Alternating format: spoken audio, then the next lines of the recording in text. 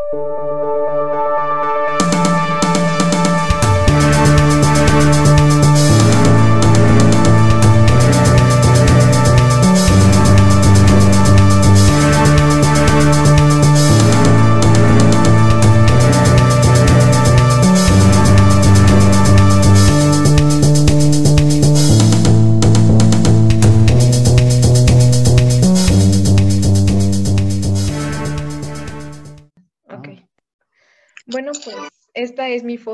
Como pueden ver es de un águila que justo está este, pues, comiendo un pescado. Esta foto la tomé, me parece que en 2018, cuando tuve un viaje a Holbox. Y este animal estaba totalmente en su hábitat natural. De hecho, vi muchos animales increíbles. Y me gusta mucho esta toma porque fue literalmente de suerte. Justo el águila acababa de llegar de su nido, o sea, acaba de pescar y, y pues, o sea, como pude, no, estaba eh, hasta arriba de como un tipo de caseta, el nido, y como pude tomé la foto. Ok, vale. Pues si quieres comienzo yo a hablar de tu foto, vale. Primero, te puedo decir que no hay fotos que son suerte. La suerte se busca. Es decir, que tú estabas buscando la foto y la encontraste. Eh, a mí esta foto me encanta el enfoque que tiene, es decir, me encanta el plano holandés que le diste a esta foto. Eh, el plano holandés cuando pones 45 grados, eso le da mucha fuerza a esta foto. Lo único que a lo mejor te puedo decir yo de esta foto es cuando vemos una foto, lo primero que vemos es lo más claro. Y si das cuenta, tienes bastante claro al lado izquierdo. Yo lo que hubiera hecho si, si, si hubiera sido mi foto, yo a lo mejor lo hubiera convertido a una foto cuadrada y le hubiera quitado un pedazo de la izquierda donde sale la sombra que le va directamente hacia la cabeza del águila y creo que eso te da todavía más fuerza, más fuerza a tu foto. Pero sí, me encuentro una foto muy bien enfocada, muy, muy bien pensada, como le diste el ángulo, ángulo holandés. Es decir, que a mí me gustó mucho, yo la considero una muy buena foto acerca de excelente foto. ¿Alguien más quiere hacer algún comentario? gracias. Y, yo me encanta el momento, o sea, como dice Toño, no fue suerte, pero ese momento que tú tuviste, a lo mejor un ratito, o ella estaba muy entretenida para comer en ese momento, y esa mirada casi, casi, o sea, está viendo el, eh, el pescado, pero obviamente Tú, tú, tienes esa, esa mirada hacia ti también. Entonces, esa parte me gusta mucho. También vemos un pedacito de la garra ahí que le da eh, ese, ese toque especial de ver la dimensión o, la fuerza del animal. Me gustó mucho tu foto. Muchas gracias. Sí, sí, así es. Es una, es una muy linda foto, muy buena foto. Me gusta también, eh, o sea, no, aunque tengamos un, un fondo muy, muy blanco, no, no desencuadra, no desentona con lo que es el águila, no, no llama más la atención porque es todo muy blanco. La fuerza que tiene por ese mismo ángulo holandés que hablaba Toño está, está muy bien, le da mucha fuerza. Ese corte, aunque está ahí, no sé, que no se le ve completamente la cara al, al animal, creo que está, está bastante bien acertado, está muy acertado, entonces me, me gusta mucho la foto. Gracias. Si quieres Vamos con la siguiente. Con Patti Marín. Vamos con Patti.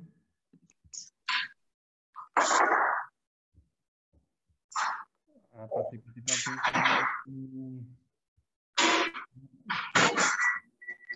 Aquí está. Esta es mi foto. Esta foto la tomé hace como cuatro años. Una cosa así, una vez que fuimos a África a dar una vuelta, pero por más que le quise buscar el ojo, no pude. Entonces dije, como salga. Y me gustó mucho el momento que estaba, estaba el, el borrego cimarrón echado. Me gustó mucho la, como la escenografía, todo. Pero lo que sí me faltó fue el ojo. Si quieres, a ver, ¿puedo hablar de la foto de Patti?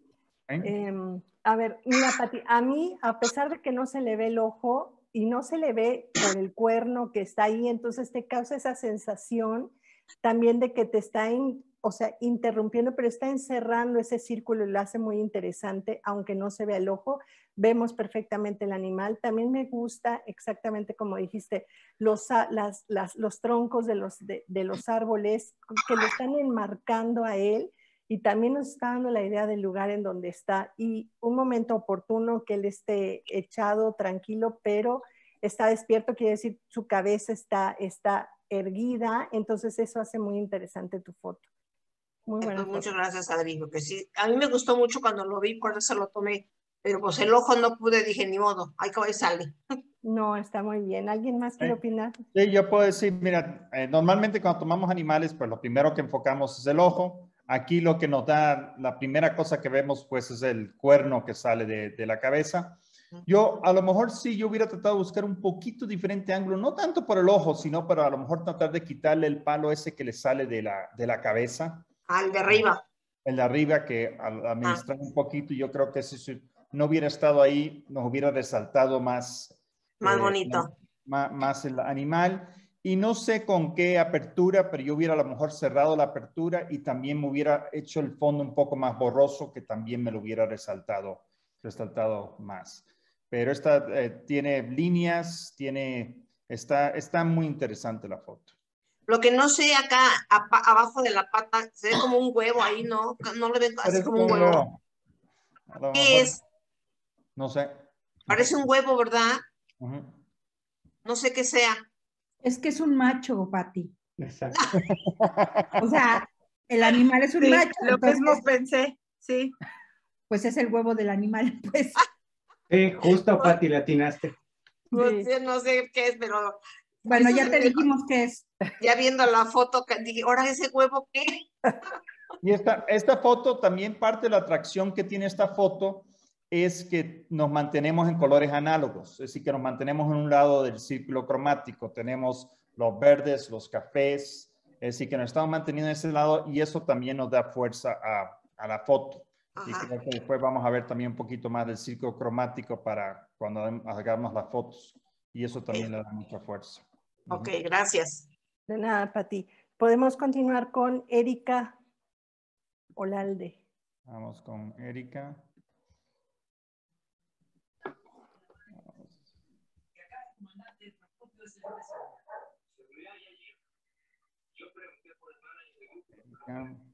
Ahí está. ¿Qué nos puedes contar tu foto, Erika? Pues hubo este, al principio de la pandemia una época en la que me encontraba Catarinas por todos lados. Esta Catarina está en la puerta de mi casa, o sea, se metió y ahí la encontré porque mis mascotas se la querían comer a la pobrecita. Entonces le tomé unas fotos con el macro y pues me gustó como esa parte blanca completamente limpia para poder tomarla y, que no me distrajera nada, ¿no? Por ahí le dejé la, e, esa, esa, este, como cosita que tiene, la tenía, se la intenté quitar a la Catarina, pero la tenía como pegada. Entonces, no sé si era parte de ella o que tenía por ahí, ¿no? Este, y pues después ya la dejé libre, ¿no? La, la, saqué, pero esa es mi, mi foto. Gracias, Erika. Ok, este, bueno, yo quiero hablar sobre esta foto. A lo mejor eso blanco podría haber sido un parásito o algo por el estilo. Ah, este, me gusta mucho ese fondo, este fondo blanco me, me, me gusta. Eh, yo creo que es una, es una buena foto, me, me, gusta mucho ese fondo, no se sobreexpone tanto, no, o sea, aunque pudiera estar reventado ese blanco, no es, no tampoco me parece tan llamativo, creo que combina bastante bien con este naranja de la, de la Catarina. Ah, lo que a mí sí en esta parte del macro, pues es que no está, no está súper enfocado lo que es las partes enfocadas. Es, eso es lo que le, le pasa, le, le, pasa a esta foto. Eh, en mi taller. Ah, estás en mi taller. Espérate, déjame que hay mucha gente hablando. Por favor, apaguen sus micrófonos. Por favor, apaguen los micrófonos. Gracias, Toño. Entonces, eso, eso es lo que le, le falta a esta, esta fotografía para que verdaderamente termine de brillar ese, ese enfoque aunque me encanta la diagonal que está haciendo precisamente, cómo, cómo está hecha tu composición, creo que eso también es muy llamativo, le da mucha vida a la foto, le da mucho movimiento. Entonces, creo que es, en esa parte me gusta mucho la, la, foto, el desenfoque que se va haciendo hacia lo que es la parte de atrás, hacia la cola de la, de, este, del insecto, creo que también ayuda muchísimo a que uno se centre en, la parte que es la cabeza. Eh, por eso, sí, a mí, a mí me parece una, una, buena foto. Nada más esa parte del enfoque, que es lo que, híjole, lo que hace que el macro brille, ¿no? Me cuesta mucho ese. Yo veo, yo veo me cuesta muchísimo yo veo el enfoque aquí, en esta partecita de aquí donde se ve el enfoque. Y sí me, hubiera gustado, me hubiera gustado un poquito más de enfoque, eh, porque sí se ve demasiado pequeño el enfoque. Creo que después también eh, Alberto nos va a hablar de diferentes maneras de tomar macro, que, creo que también eso te hubiera ayudado. Pero sí, me gusta. A mí lo que me dio movimiento esta foto, la considero una buena foto, es la diagonal. Esa diagonal le da mucho a esta foto y el fondo blanco. Gracias.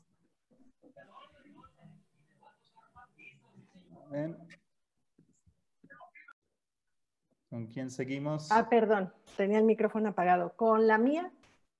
¿De una vez? Vamos con Adriana. Ok, ¿qué nos puede contar, Adri?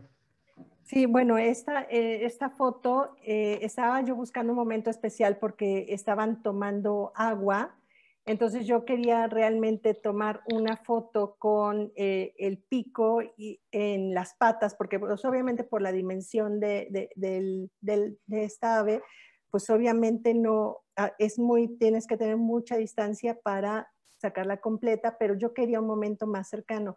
Entonces estaban tomando agua y capté este momento en donde es, sube la cabeza y viene escurriendo, escurriendo su gota de agua y eso fue lo que más me gustó de la foto, tomar ese momento especial, digamos, como un retrato. Esa es la historia de mi foto. Les recuerdo a todos que pueden poner comentarios. Gracias por el comentario. Vale, dice que la gota de agua está wow. Eh, que pongan comentarios, cualquier cosa sobre las fotos. Yo voy a comenzar con esta foto. a mí me gusta el bokeh que tiene esta foto, hace que el ave eh, resalte. A lo mejor lo único que me distrae un poquito el bokeh es este tipo de otra ave aquí atrás. Y a lo mejor yo, si, hubiera sido yo, yo a lo mejor en, en Lightroom lo hubiera quitado eliminado, para, eliminado, porque el resto sí nos lleva hacia, hacia el ave. Eh, me gusta el enfoque que le diste al ave. Eh, no sé si lo probaste eh, dándole un flip horizontal para ver cómo se ve con el pico hacia el otro lado y, el, cuello saliendo del lado izquierdo. Eso sí lo probé, pero podemos también igual, este, me gustó así y, y, sí la probé, creo. Ok, perfecto. La verdad no me acuerdo. El fotógrafo es el que, el que dice, pero eso es una, una cosa que yo normalmente hago muchas veces con mi foto. Cuando tomo la foto, le hago un flip horizontal para ver más o menos qué vida me puede dar. Me gusta cómo está enfocado eh, el ojo, la gota. La gota es, como yo siempre he dicho, las fotos se convierten en fotos de buenas a muy buenas cuando tienes, y excelentes cuando tienen un punto de exclamación. Y aquí la gotita es la que, ¡pum!, le pusiste el punto de exclamación a esta foto. Esa foto eh, la, la, hace lucir mucho. Yo a lo mejor lo hubiera saturado también un poquito, nada más para sacarle un poquito más a la vida. normalmente el color depende de cuánto camarón han comido, pero yo lo hubiera sacado un poquito más de saturación. Preguntan por ahí que qué apertura usaste. 5.6, F5.6. 5.6 y qué objetivo? El 500 milímetros. 200, 300, 500.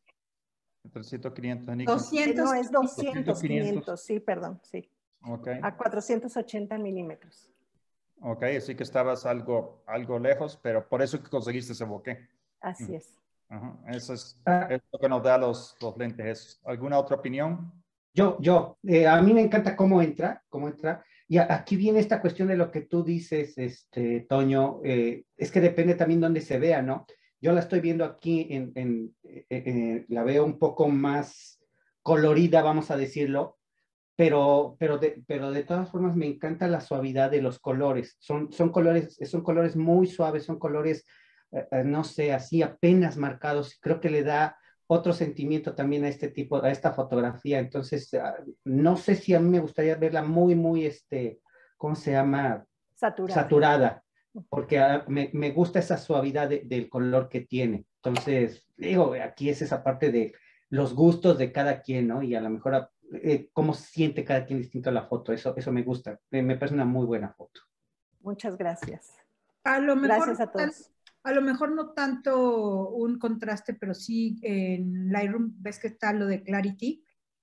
Eh, un poquitito y ya con eso hubiera estado bien, pero a mí así me gusta también, ¿eh? Esos Muchas gracias. increíbles. Gracias. Podemos continuar con Héctor Torres. Héctor.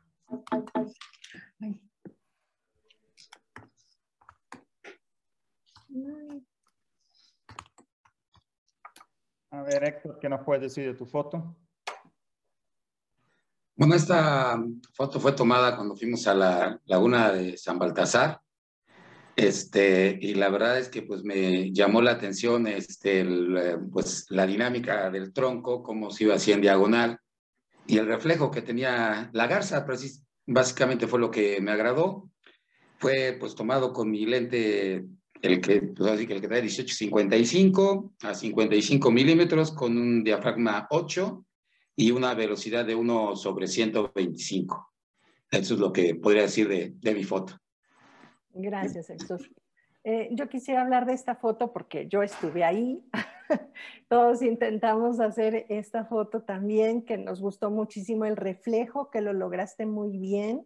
También me gusta que incluiste el reflejo de los árboles, lo cual le da mucha vida porque nos da eh, eh, el entorno en donde está el ave posada, ¿no? Entonces, esta garza eh, llama mucho la atención también por, por cómo logras el reflejo también de todas sus plumas. Eh, eh, me gusta mucho la dirección que nos da el tronco y, creo, creo que está bien enfocada, aunque no, no logré verlo yo muy bien. A lo mejor no sé si está más enfocado el reflejo que, que la garza en sí, pero es una muy buena foto. Gracias. Yo puedo, yo puedo añadir a eso. Eh, me gusta cómo pusiste eh, la garza en el tercio. Eh, me gusta el tronco como te lleva. Cuando nosotros leemos una foto, normalmente la leemos de izquierda hacia derecha, de arriba hacia abajo. Es exactamente donde el tronco nos lleva. Es decir, que ese tronco nos lleva directamente a la garza. sí me gusta el encuadre que le diste arriba, que como dice, que nos da el entorno donde está. Y yo a lo mejor le hubiera bajado un poquito las luces altas en la garza que está afuera del agua. Casi parece que la garza que está dentro del agua se ve casi más enfocada que la garza de afuera y es por la, fuerza que tiene la, la, luz. El sol en ese momento le está dando mucha luz a esa garza y entonces como que se ve un poquito más quemada y en el reflejo se ve todavía más, más nítida eh, la garza. Eh, no sé qué más quieren decir. Gracias. a, mí me gusta bastante esta, digo, eh, estas son difíciles de tomar en ese sentido porque era muy fácil volar las, las plumas blancas de, la garza que se fueran, se fueran y perdiéramos detalle, pero, pero se controló bastante bien en esa parte de la exposición, entonces eso también se vuelve, es algo meritorio.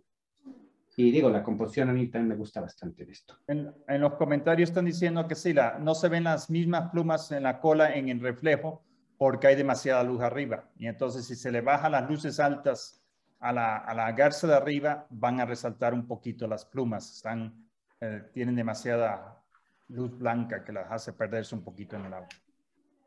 Gracias, gracias por los comentarios. Continuamos con Alberto Guzmán. Ok, y después si quiere Alberto Xochitl que está pidiendo que le hagamos su foto por... Ah, entonces primero Xochitl, sí. Ok, vamos con Xochitl.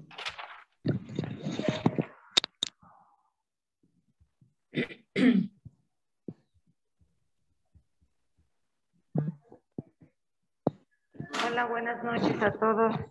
Buenas noches. Buenas noches. Escuchen, sí. Bueno, esta es una foto muy espontánea porque yo estaba haciendo eh, el trabajo de, de, bodegones que me habían pedido para efímera. Entonces mi perro, eh, que, ya murió, le gustaba muchísimo las verduras. Entonces yo tenía todo el set acomodado para hacer un bodegón con, este, la manzana y los pepinos y eso, y él se apareció con, con la cara de, de querérselo comer y entonces lo enfoqué a él para hacer el boquete de las, del, de, lo que es la, el pimiento y eso, y entonces pues me gustó mucho esta, esta foto que salió como muy, muy espontánea.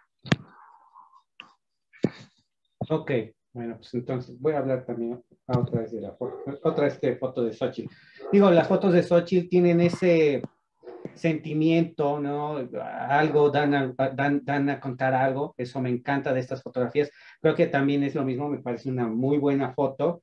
Eh, los, colores, cómo llama la atención ese pimiento, pero no distrae tanto, sino que lleva hacia el perro.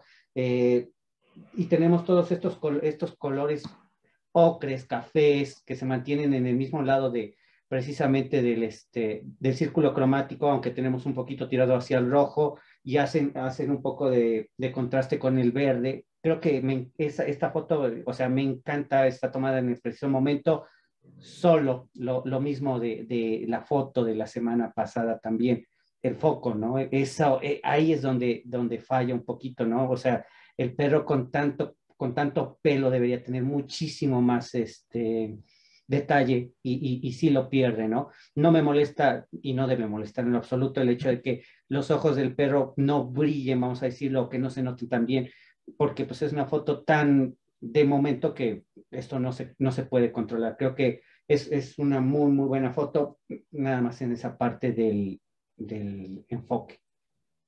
Eh, eh, yo, yo coincido, a mí me gusta mucho cómo te lleva hacia el perrito, desde el pepino cortado con las lascas a, a los champiñones, boom, hacia la cara del perrito, el rojo que te resalta, pero como tiene el pimentón, tiene la, la puntita ahí, esa puntita nos lleva hacia el perrito.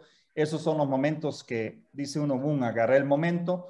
Eh, me imagino que parte de la, razón que se ve un poquito desenfocado el perrito es porque fue con a uno sobre 60, es decir, que cualquier movimiento que haga el perrito se va a notar y fue con un F4.5 que nos da también muy poca profundidad de campo. Eh, yo veo más bien, a lo mejor el enfoque está un poquito como si a la nariz por la pequeña profundidad de campo y a lo mejor con ese 1 sobre 60 es lo que nos hace que se vea un poquito, no completamente enfocado, pero yo creo que la gracia de esta foto es haber agarrado la historia, que cuenta el momento, eh, es, es, lo que le da mucho poder a esta foto. Y además, ¿sabes qué pasa? Que, que fue un segundo, ¿no? Él, él, se movía y estaba, sea, se, se, escapó inmediatamente. Fue como muy, muy espontáneo. Muy buena foto, Jocelyn. Muchas gracias por pasar mi foto. Estoy, acaban de operar a mi papá, ya estoy esperando que lo suban y todo salió bien. Gracias a Dios. Qué bueno. Y contigo. Entonces vamos con Alberto. Alberto. Alberto Guzmán.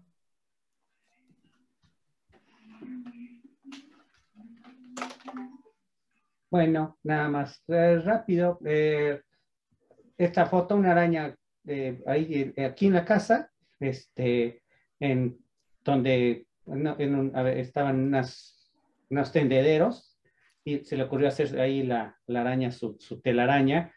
Y bueno, yo no soy de que las, las mato o cosas por el estilo, sino que lo que corrí fue precisamente por, más bien por un pulverizador de agua, echarle un poco de agua hacia arriba para mojar la, la, este, la telaraña y un poco la araña y pues, tomé esta fotografía así, pues va, lógicamente correr por la cámara y tomar la foto.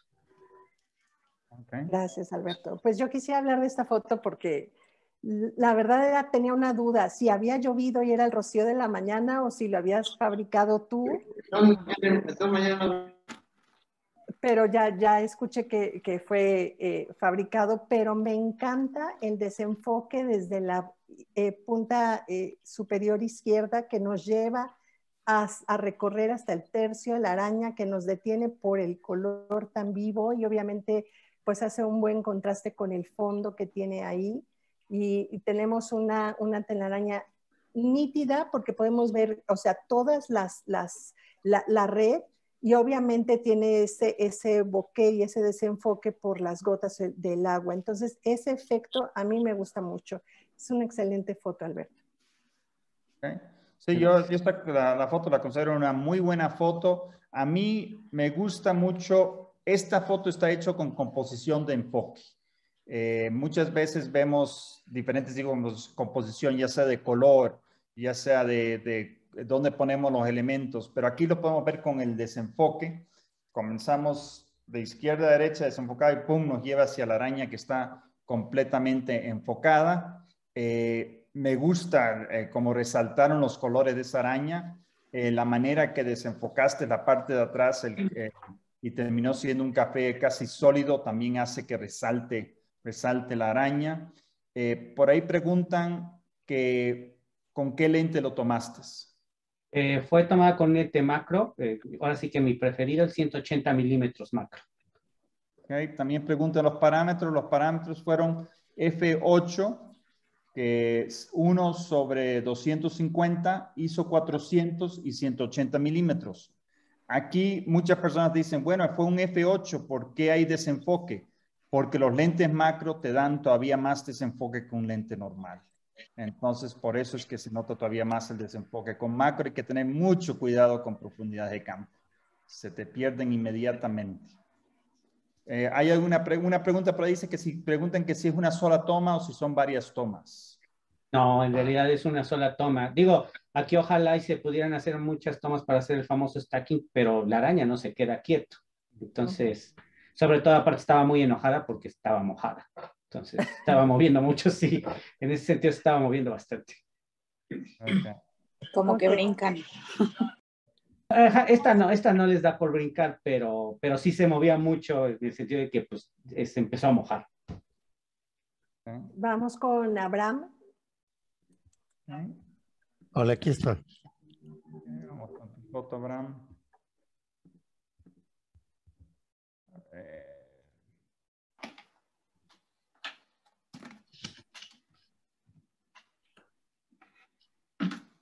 puedes decir de tu foto, Abraham? Sí, pues eh, como el tema fue animales, quise poner al perrito en, primer plano y el señor se me hizo así como que un poco peculiar, ¿no? Su vestimenta y todo. Esta fotografía la tomé en San Miguel, no, en Guanajuato. Y este, bueno, me gustó cómo salió el perrito y la correa, cómo lo llevaba el señor. Entonces, este, me fui a Guanajuato, a Guanajuato a tomar la fotografía para esta tertulia.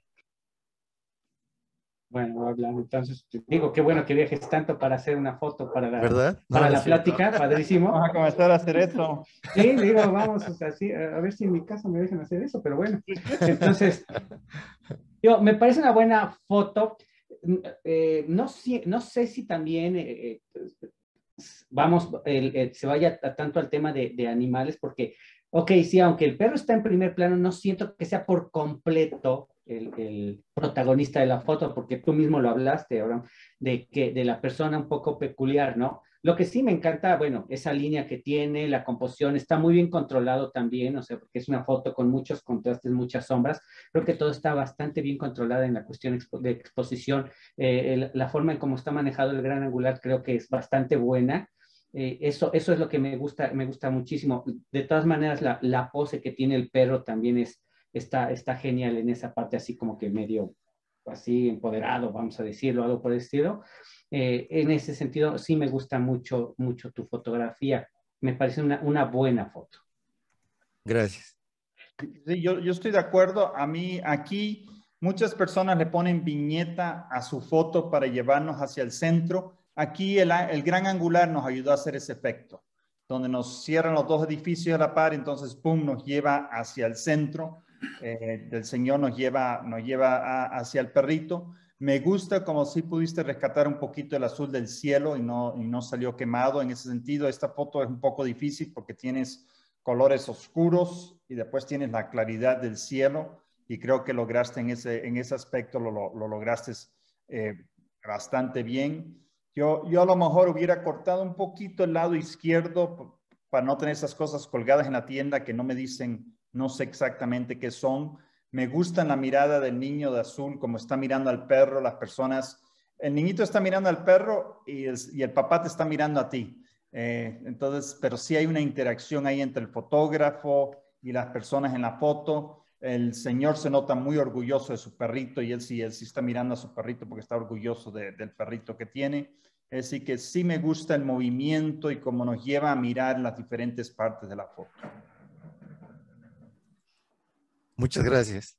Preguntan si, tuviste, si tomaste la foto desde abajo, si te, si te agachaste o acostaste para tomar esta foto. Sí, había un escalón, entonces me bajé al escalón, me agaché lo más que pude y sí busqué un ángulo de, de abajo hacia arriba. Ok. Y eso es lo que le da la fuerza también al dueño del perro cuando tomamos la foto de abajo para arriba le da fuerza a las personas. Eh, hay un cuento que dicen por ahí que Peña Nieto nunca dejaba a nadie tomar la foto a su altura. Todos los fotógrafos tenían que agachar. Primero porque era chaparrito y segundo para darle esa fuerza de, tamaño y grandeza. Entonces siempre los fotógrafos tenían que agacharse para tomarse, tomar la foto. Gracias. Ok. Vamos con Claudia Hernández vamos con Clau. Hola. Hola. Mucho gusto a todos. Es la primera vez que lo logro. Bueno, hace ocho días más bien se me... Llegué a la casa y justo se me, se me... Bueno, no llegué a la casa, llegué y se me apagó el celular, no tenía cargador. Pero mucho gusto a todos. Eh, esta foto, pues estábamos en pandemia también y mm, estaba sentada, literal, viendo a los colibríes que se acercaban y pues intentando hacer la foto. Creo que logré como tres, pero esta fue la que me gustó más. Y después, la verdad es que sí intenté quitar la ramita de adelante con Photoshop, pero me era muy complicado clonar eh, la textura de las alas. Entonces, pues decidí dejar esa hojita que como que me estorbaba ahí enfrente. Pero pues me gusta mucho porque es todo natural también el fondo. Entonces, pues estuve un buen rato ahí esperándolos. Si quieres, comienzo yo hablando de esta foto. A mí me encanta la velocidad que le diste a esta foto. Le diste suficiente velocidad para congelar la, el cuerpo del colibrí, pero al mismo tiempo tiene un poquito de movimiento las alas, entonces nos da el movimiento del colibrí. Pues uno sobre 320. Los colibríes se mueven rapidísimo. Entonces, creo que esa parte lo lograste muy bien. Yo, yo la considero una, una buena foto. Me gusta la rama que no se puede quitar, pero por lo, por lo, menos sale de la izquierda de abajo, entonces nos lleva también al colibrí. Eh, a lo mejor lo que yo a lo mejor hubiera hecho, yo hubiera recortado un poco la foto de arriba, le hubiera quitado un poquito la parte de arriba para darle más importancia al colibrí, que me imagino que era tu sujeto principal eh, de la foto. Eh, sí siento que a lo mejor el enfoque quedó un poquito más hacia el, el color de, no sé, esa es, ¿qué color, qué planta? Morado. Sí, el ah, morado, pero esa es, ¿qué? No, no sé qué planta es. Pero, pero sí, yo creo que, y no me molesta que, que el colibrí penitas agarraste el ojo, yo creo que en ese aspecto sí, sí, sí me gustó mucho. No sé si hay algunos otros comentarios. Gracias bueno, a mí me encantó de esta foto que eh, la perspectiva que agarraste del colibrí en el momento, eh, que se logra arribita de las alas, eh, se logra ver el pico perfecto y la parte superior de la cabecita con el ojo. Eso le da mucho valor a la foto y me gusta mucho. Gracias. De nada.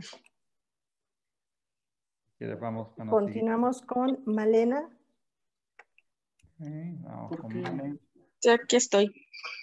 Vale, vale. Eh, a mí, está la foto de Male. Aquí está la foto de Male. A ver, ¿qué nos puede contar, Male?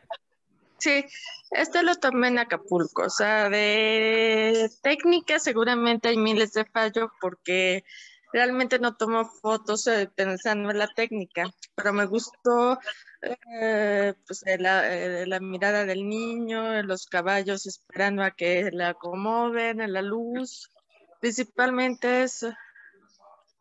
Ok.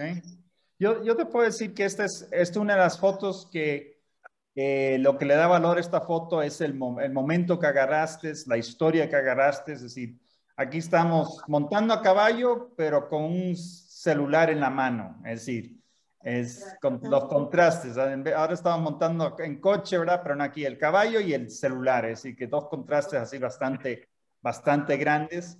El niño se nota típico niño de esta edad, está clavado en su celular, es decir, aquí tú le podías haber bailado, saltado, hecho lo que quisieras enfrente de él y él se iba a quedar en su celular, porque eso es lo que estamos viviendo hoy en día que el celular para los niños es, es toda su vida. Es, y que esa parte creo que la, la lograste muy bien. Me gusta como pusiste al niño en el tercio, me gusta como pusiste el, el horizonte también en un, en un tercio, la construí una buena foto. Creo que el horizonte está un poquito, un poquito caído. Eso yo me hubiera gustado que hubiera estado a lo mejor un poquito más enderezado, a lo mejor hubiera gustado un poquito más de, de contraste para, para sacar un poquito los, no, no se me perdiera todo hacia, hacia los blancos o a lo mejor bajarle un poquito los, los blancos para que me saliera un poquito más la, la foto. La veo un poquito pixelada, pero no me molesta porque me da un poco la, la, la sensación del ambiente, del ambiente en que está eh, la, la, foto. No es una foto fácil porque es una foto básicamente tomada bastante a contraluz. No sé si alguien quiere decir algo más. No. Ok. Pasamos a la siguiente. vamos a la siguiente. Hicieron una pregunta que, que, se le ve como un velo, que si es porque está contra luz. Se le ve un velo. A la foto. Sí. Sí, como que es. Bueno, sí lo tomé. Sí, lo tomé. Eh, eh, pues eh, sí, el sol atrás y también por eso pues no veía muy bien y pues más o menos calculé los, los parámetros, pero sí, sí, sí está contra luz. Se vuelve mucho más difícil de tomar. Ok.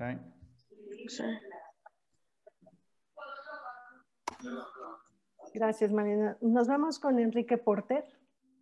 Enrique, vamos a ver, creo que es uno de sus perritos.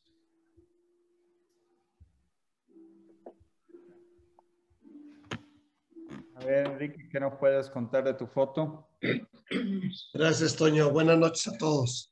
Buenas noches. Bueno, es Buenas noches, una hembra, eh, Tuna, es mi, una de mis perritas que tengo. Eh, amo a los, a los perros principalmente, todos los animales, pero principalmente a los perros. Y ella es muy fotogénica, bastante fotogénica.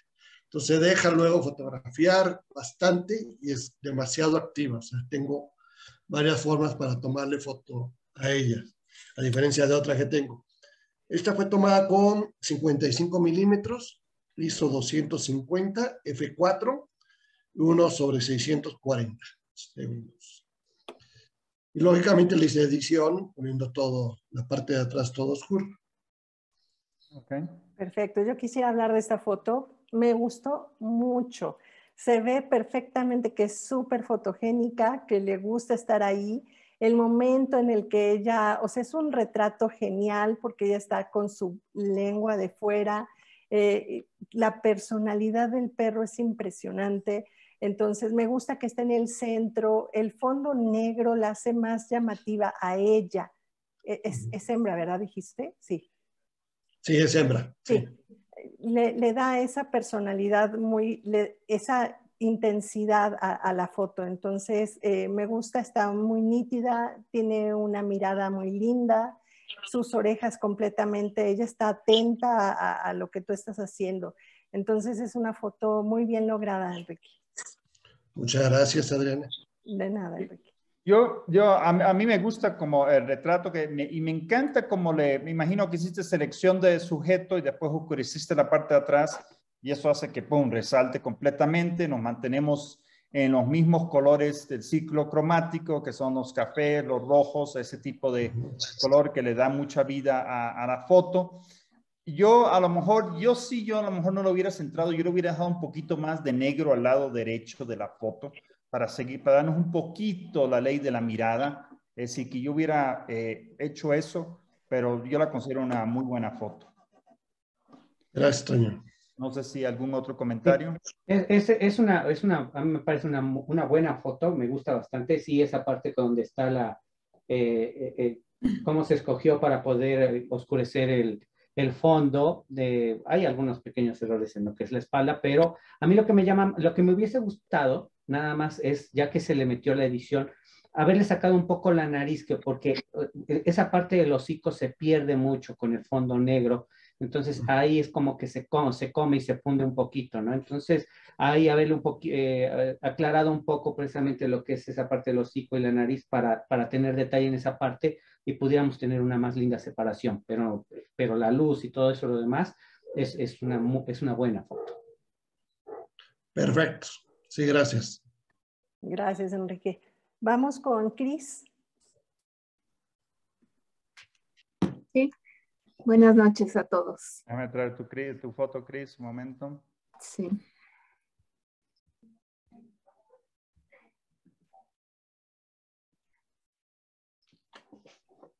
Em, quise hacer una larga exposición para darme ese efecto del agua. Y este, yo como Abraham también me fui para hacer una foto y presentarla. Qué bueno. No sé si lo haya logrado, a mí me gustó muchísimo y este no llevaba tripié, pero me apoyé en uno de los pilares que hay en el corredor de los prismas y así fue como la hice. ¿Te apoyaste o sentaste la cámara ahí? Ah, eso, senté la cámara ahí. Ok, ok. Ok, bueno, yo voy a hablar de ella. Creo que como ejercicio, digo, está más que como ejercicio, está, está, es muy buena foto, me gusta, creo que es muy, está muy bien controlada, entonces esa parte de, de la larga exposición sí se logró, qué bueno. Uh, quizá de hecho se pasó un poquito a la exposición, pero solamente un poco, porque sí empiezo a perder un poco de detalle en, en estas partes blancas de la, de la este, en algunas zonas de, las, de, la, de la caída de agua, pero creo que está, está bastante bien hecha. A mí lo que me hubiese gustado un poco más en, en la parte de composición es que se le dejara respirar un poco, ya sea, es que bueno, aquí viéndola bien, no se puede dejarla respirar abajo porque no puede respirar abajo porque está cortada, sino entonces empieza a salir ese, ese triángulo que tengo, este, entonces está muy bien pensado ahí. Arriba no sé qué tanto se le pudo haber dejado respirar, pero, pero abajo no, abajo, acá, abajo viéndolo ya bien, no, puedes, no se puede dejar respirar esta, esta caída de agua. Y de todas formas, la forma en cómo tiene precisamente la caída de agua en la parte de abajo, e, esas pequeñas caídas, cómo se empieza a abrir, eso, eso también empieza a llamar muchísimo la atención. Digo, como tú lo dijiste, es un ejercicio, pero creo que está más que como un ejercicio, es una, es una muy buena foto. Ya hablándola en cuestión de fotografía abierta, que no está con el tema, ¿verdad? Eh, básicamente, eso, lo primero que iba a decir es decir, eh, qué bueno, Chris, que te sentiste que podías mandar cualquier foto porque es parte de nuestro concepto que tenemos un tema, pero pueden mandar foto eh, a un tema libre cada vez que se va a mandar la, foto. Eh, y lo, lo, hiciste. Eso es parte de la idea. Acabo de tomar esta foto, quiero compartirla y entonces pudiste compartirla hoy con nosotros. Me encanta que no tuviste tripié, pero no te cerró el mundo. Es decir, buscaste un lugar para apoyar la cámara. Eh, eso te ayudó a que estuviera la vez muy enfocada la foto, es decir, que no, no, no se ve el movimiento de la roca atrás, lo que no se mueve está enfocado. Eh, sí, a lo mejor un poquito menos eh, la, larga exposición nos hubiera dado un poquito más de, movimiento en el agua, pero a mí me gusta esa parte, nos lleva por toda la, cascada, la cascada de agua. A lo mejor un filtro polarizador nos hubiera ayudado un poquito más a definir eh, lo que es las piedras de abajo y un poquito el agua. Eh, eh, preguntan por ahí, ¿qué significa respirar? Significa dejarle un poquito más de espacio. en la parte de arriba no le dejé más espacio porque yo tenía el sol de frente y estaba ah. muy intenso, entonces por eso lo cerré así. Ok. Muy bien. ¿Con quién vamos? Vamos con Elena Guzmán. Okay.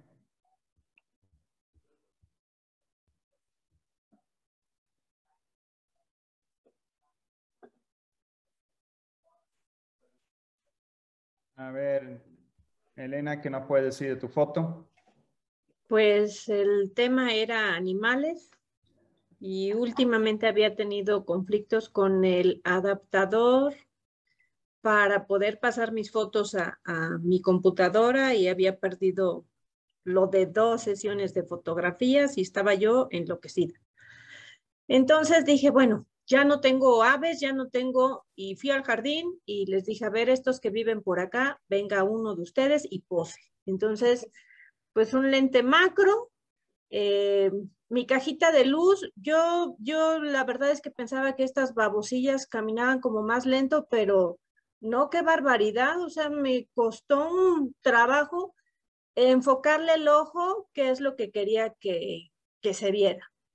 Eh, este, no me acuerdo de los parámetros completos, pero eh, creo que por ahí los tenía en algún lugar. F5.6, 1 sobre 40, ISO 200 y el 100 milímetros del macro. Ajá, y mi cajita de luz con una hoja que pues igual recolecté del jardín para poder posar a, a la babosa y pues un chorro de intentos. Ok. Pues si quieres, comienzo a hablar de, esta foto. Lo primero que a mí me llama la atención esta foto es la diagonal esa que le diste. Esa diagonal le da movimiento a esta foto. Eh, y es básicamente uno de los conceptos que estamos buscando cuando estamos haciendo composición. Eh, sí se nota que, que lograste el ojito de, de la babosa eh, enfocado. creo que, que sí tiene un poquito de luces altas, como que usaste un flash. No, eh, la caja de luz, todo eso que se le ve como en el lomito, como ahora sí como piquitos, son eh, el efecto de la caja de luz porque tiene como una línea de, foquitos LED. Ah, Entonces yo creo que como es muy brillosito el animal, lo refleja. Okay. Pero si le quitaba la luz ya no se veía. No se veía el animal el animal, entonces no, pues no, ¿qué hago? Pues ni modo, se irá con esos piquitos que son como el reflejo de, de, esas lucecillas, ajá. está también muy interesante la combinación de colores que se le salió a esa hoja entre el azul, el morado, el rojo, el verde. Yo no sé si eso es lo natural de la hoja o fue un poquito la... No, no, son, son hojas naturales. Ahorita me acuerdo cómo se llaman. Este, es una hoja que está dentro de, la casa y que pues ordinariamente es verde, pero conforme se va secando va adquiriendo esa tonalidad como entre rojiza, eh, marrón y demás. Dependiendo de la época del año es como que se quedan más, más de, ese, de esos tonos.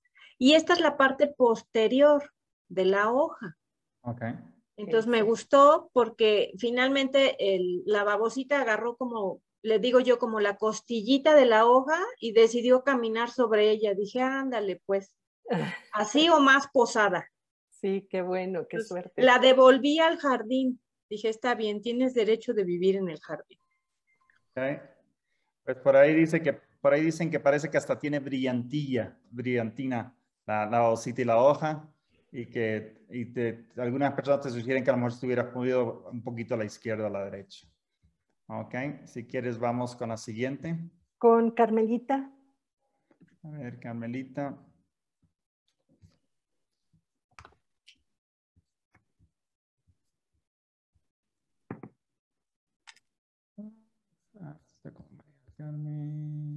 Sí está Carmelita, ¿verdad? Sí. sí. pero yo tengo como María del Carmen. Sí, Carmelita, ahí está Carmelita. A ver, Carmelita, ¿qué nos puedes contar? A ver, esta la tomé en la Sierra de Puebla. Y ahora que estaba, yo quería, iba a mandar otras, otra, pero como estoy organizando, apareció este ya por tiempo, dije, bueno, ahí va. Eh, bueno, eh, dentro de mi movilidad es lo que, lo que me pude acercar. Tengo otra que va la mujer jalando el caballo, pero ahí no me salieron completos los pies, entonces decidí por eso. ¿Sí? Está el tercio, sí. Eso es. Muy bien, Carmelita. A mí sí me gustaría hablar de esta foto porque nos saca del contexto que estábamos mandando, nosotros de animales. O sea, este es como, como un animal de trabajo y lo cual le da un significado diferente a, la fotografía. Me gusta el momento, eh, me llena de como de, pues sentimientos encontrados de verlo con tantas cosas encima. El momento que agarraste es muy bonito, está él pues pastando, comiendo, eh, está en el tercio, le dejaste muy bien, eh, como tú dices que en la otra salía cortado, aquí tiene suficiente aire abajo y también nos está enseñando el entorno en donde está eh, el, animal. Entonces, también me gusta que no salga la persona que lo lleva, aunque lo está sosteniendo, pero no, no modifica el, el énfasis que tiene sobre el sujeto. Es una buena foto. Carmelita, felicidades. Muchas gracias. Eh, tengo después de esta una que están un grupo de borregos con su moño rojo todos por el mal de ojo en una cancha de fútbol, pero como no vi la pelota, mejor me mandé esto. Ah, está divina. Muy bien, gracias. Qué bueno ¿Alguien más? Sí, yo puedo decir, yo la, la considero una, una buena foto, Carmelita me gusta el, caballo, se nota que es el sujeto principal de, la foto, está desenfocado a la parte de atrás, así que sí, jugarse con, el, con la profundidad de campo. Eh, lo que sí veo un poco raro es a través de los árboles sí veo un poco de azul, como el azul del cielo, y arriba de los árboles lo veo blanco. Hay una laguna. Ah, entonces el agua de la laguna que está apareciendo a través de los árboles. Ok, porque decía que... Eh, como que el cielo en una parte se ve oscura y el otro no, entonces la, la laguna. es la laguna.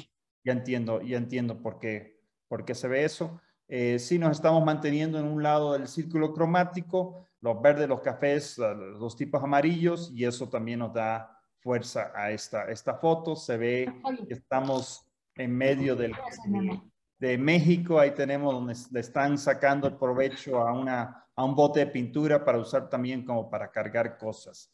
Así que también nos cuenta una historia el, cómo usan aquí las cosas para dos y tres diferentes cosas, no solo para lo que se hizo.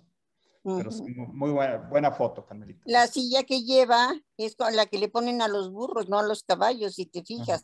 La cincha, entonces eh, eso le ayuda a amarrar ahí los, las bolsas que lleva. Pues muy bien. Muy bien, gracias Carmelita. No, gracias a ustedes. Eh, continuamos con Wendy Aguilar. Vamos con Wendy.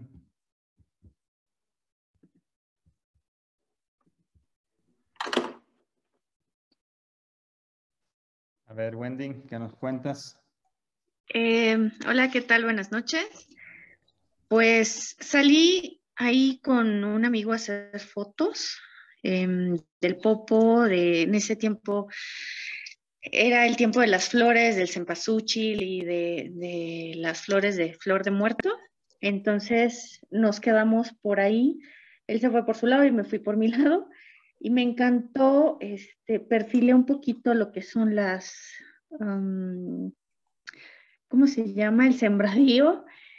Y, y, me quedé como en ese caminito y cuando vi que venía ese, este, esa persona en el caballo, eh, pues me gustó y pues nada más como que enfoqué y tiré la, tiré la foto. Tengo otra también, es de una carreta con un viejito también, pero, pero como en esta se, nota más un poquito el, animal, o sea, lo que es el caballo, pues por eso elegí esta. No encontré muchas así donde tuviera exclusivamente un, un animalito, entonces espero que les guste. Okay. Bueno, yo, yo voy a hablar de esta foto. Sí, es una, es una bonita foto, tiene muchos elementos, nos cuenta, nos cuenta una historia.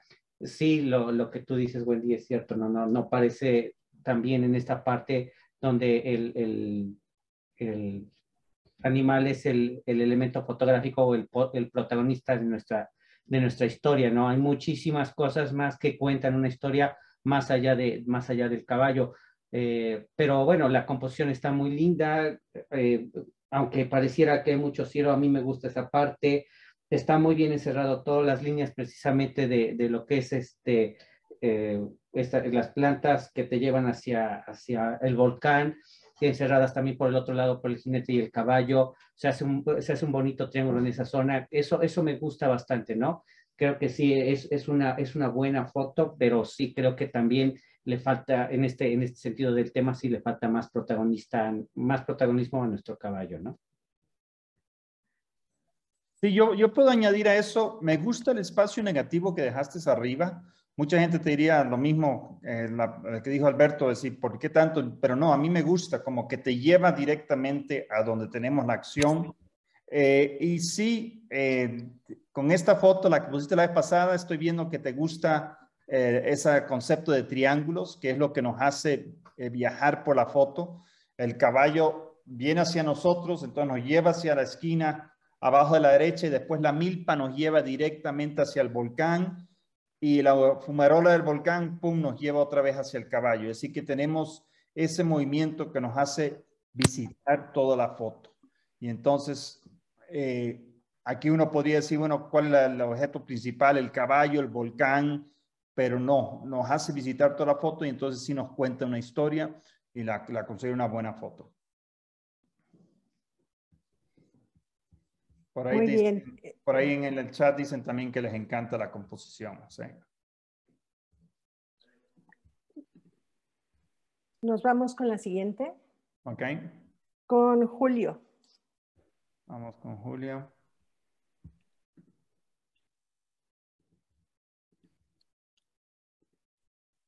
¿Me escuchan? Sí.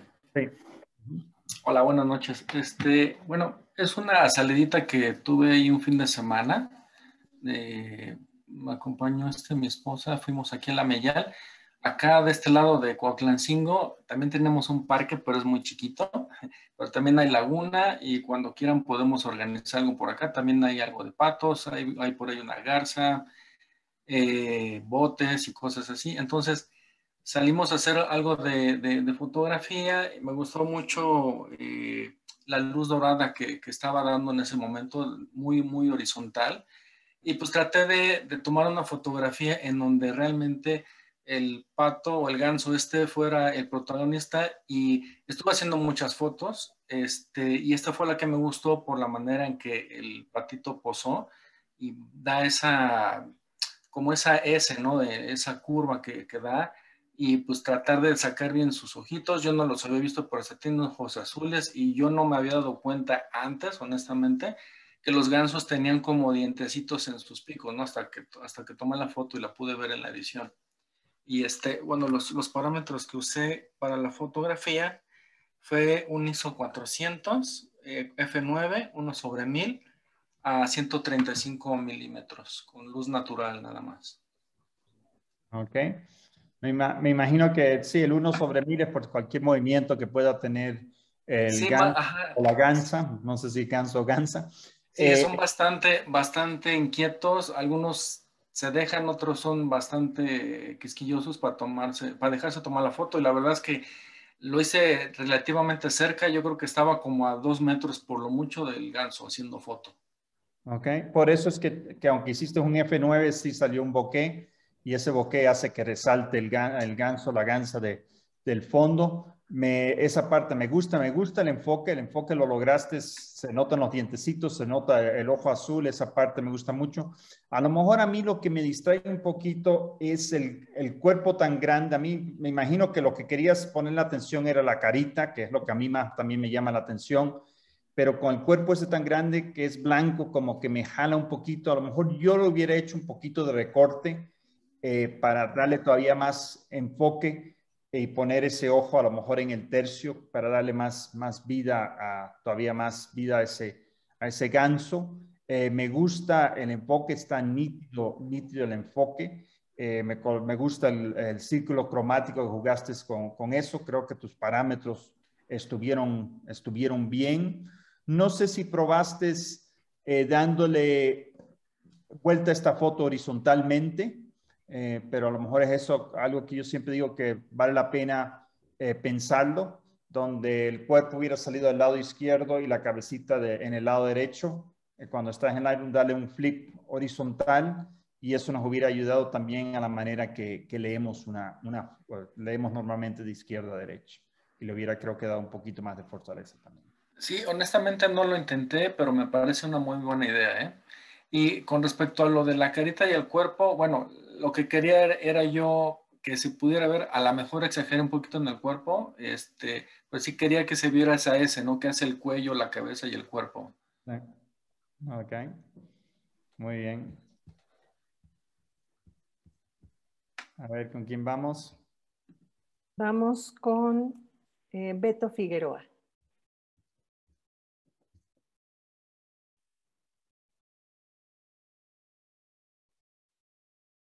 Hola, ¿qué tal? Buenas noches. Eh, muchas gracias. Un saludo para todos. Esta foto es de mi perrita que falleció hace un poco más de un año y fue de las últimas fotos que le hice eh, unas tres semanas antes de que falleciera. Eh, y pues era un animal que me acompañó muchísimos años en mi vida y que tenía muchísimo cariño. pues esto simplemente quise como tener unas fotos de ella eh, pues bonitas y un día me decidí a hacerle, hacerle una sesión. Eh, yo no sabía que al poco tiempo se iba a poner grave y que se iba a ir, eh, pero dije, ya mi pobrecita, esta, esta viejita, justamente esto ya toda canosa, ya toda con sus barbitas y toda, y toda muy viejita, y por eso le quiero hacer, tengo varias, son varias tomas de esta, de esta, de esta chiquita. Y sí, la verdad es que una, un animal que yo quise muchísimo, eh, porque la tuve desde recién nacida, entonces este, me acompañó muchos años. Entonces, pues esto, eh, quise estar, eh, tenerla como muy cerca, era la, idea de, hacerle estas fotos, de, de, poder tener su rostro siempre cerca al tomar estas fotos. me costó mucho trabajo porque efectivamente se movía muchísimo, pero pues ahí está y, pues espero sus comentarios. Eh, no sé si quieran eh, los, los parámetros, los tengo. Los tengo, los tengo los parámetros. Me gusta que lo tomaste con 50 milímetros, que es, mucha gente lo considera como un lente de retrato y estás retratando a la perrita, entonces creo que eso te logró esa, esa cercanía que uno quiere cuando está tomando el retrato. Me gusta como en el ojo se ve hasta personas en el ojo de la perrita es decir, como que eh, entonces se nota, se nota el enfoque. Eh, eh, el, enfoque se nota que, que, el ojo y la trompita estaban en el mismo nivel, porque la trompita también se nota muy enfocada, así que quiere decir que esas dos partes del, del, animalito estaban muy bien enfocadas. Yo a lo mejor lo hubiera bajado un poquito las, las luces altas para que me resaltara un poquito los pelitos más eh, eh, eh, creo que si lo haces vas a ver que le da todavía más fuerza a la foto. aquí a lo mejor, no sé si, si haces nada de edición, pero si tienes Lightroom, yo, yo usaría esa nueva cosa que tiene Lightroom donde escoges el sujeto, después lo pones inverso y oscureces un poquito la parte de atrás y también creo que también te va a dar mucha más fuerza, mucha más fuerza al perrito. ¿Es una perrita o un perrito? Perrita, es perrita. Te da más fuerza, más fuerza la perrita. Y la misma cosa, me gusta cómo está la posición, pero eh, a lo mejor debería ver cómo se ve haciéndole un flip de izquierda a derecha, donde eh, y también a lo mejor te da algo, algo interesante. Perfecto, gracias. ¿Alguien más? Perdón, pensé que iba Alberto, pero eh, a mí me gusta muchísimo el momento que captaste, la mirada, la ternura que hay en sus ojitos, resaltados obviamente por, por las canas y por la edad. Eh, es una foto que transmite sentimiento, paz y bueno, obviamente cuando estás hablando de tu mascota, bueno, tiene un significado muy especial. Una buena foto. Muchas gracias, muchas, muchas gracias. Podemos seguir con Dulce Vivar. Vamos con Dulce. Hola a todos, buenas noches. Hola Dulce. ¿Qué tal Dulce? ¿Cómo estamos? Muy bien, gracias. ¿Qué nos cuentas? Bueno, les platico de esta foto. Esta foto la tomamos mientras estábamos haciendo monitoreo en, en la cuenca del Balsas, aquí en Guerrero. Y habíamos llegado muy temprano al sitio y había unas piletas de agua. Entonces, en un árbol que estaba cerca estaba perchada esta águila pescadora que no habíamos visto. Entonces, con nuestra presencia eh, la ahuyentamos y se perchó eh, más lejos, pero de pronto llegó también otra aguililla, una aguililla con la roja, y al verla, pues el águila pescadora eh, levantó en vuelo para pues defender como, como su espacio y fue ahí donde pues pude, pude capturarla y me encantó porque llevaba pues su alimento entre las patas que estaba alimentándose de este pez que ya se había botaneado media cabeza, entonces eh, me encantó como su mirada, como toda la, toda, todo el momento, porque era defendiéndose un poquito con ese vuelo de la presencia del otro aguililla. Ok. Ok, bueno, me hablaré un poco de esta foto. por ahí? Ah, ya, ahora sí. Sí. Ok. Este, digo, a, mí me parece una muy, muy buena foto. Me gusta muchísimo la forma en cómo está colocada. tiene una, no está de forma horizontal, tiene, tiene esta diagonal que la hace que, que tenga, es, eh, eh, o sea, las líneas diagonales le dan mucha más fuerza a una fotografía. Creo que este, e, en este sentido, creo que ayuda muchísimo. Es el momento exacto. Eh, eh, esa parte donde se ve precisamente que, se nota mucho esto donde de, su alimento eh, está, está bastante bien, bien enfocada al parecer, con movimiento de todas maneras en las alas. Creo que es una foto que en ese sentido está, está muy completa, está muy bien redondeada. Aparte la exposición está muy bien puesta, está muy, medida, muy bien medida la luz eh, con esa parte de los azules del lado derecho, creo que, creo que ayuda bastante. A mí me, parece muy, muy buena foto. Muchas gracias, Alberto. Sí, yo, yo estoy de acuerdo. A mí me gusta, esos ojos me están mirando, así que creo que lo lograste exactamente, el enfoque lo lograste eh, en los ojos, que con las aves es muy, muy difícil conseguir ese enfoque, pero aquí, aquí lo lograste y lo lograste que te está mirando directamente a ti. Eh, y sí, lo mismo, que esa ala que tiene un poco de movimiento nos da la sensación de que está volando. Eh, y, creo que sí, es difícil por, por el cielo tan blanco atrás, pero lo lograste, lo lograste muy bien. Gracias, Toño.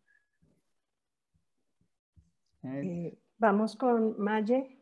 Dicen por ahí, se ve imponente en la foto, lograste capturar una gran imagen, muy padre fotografía, tiene buen equilibrio excelente diagonal. Vamos con Maye.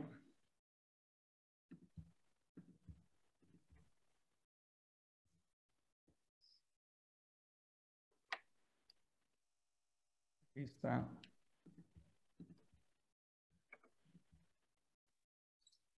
Bueno, esta foto la tomé, ya es de archivo. Este, la tomé en un lugar que las tienen controladas a las víboras. Eh, obviamente me tuve que agachar, ah, totalmente en el piso para agarrarle el ojo.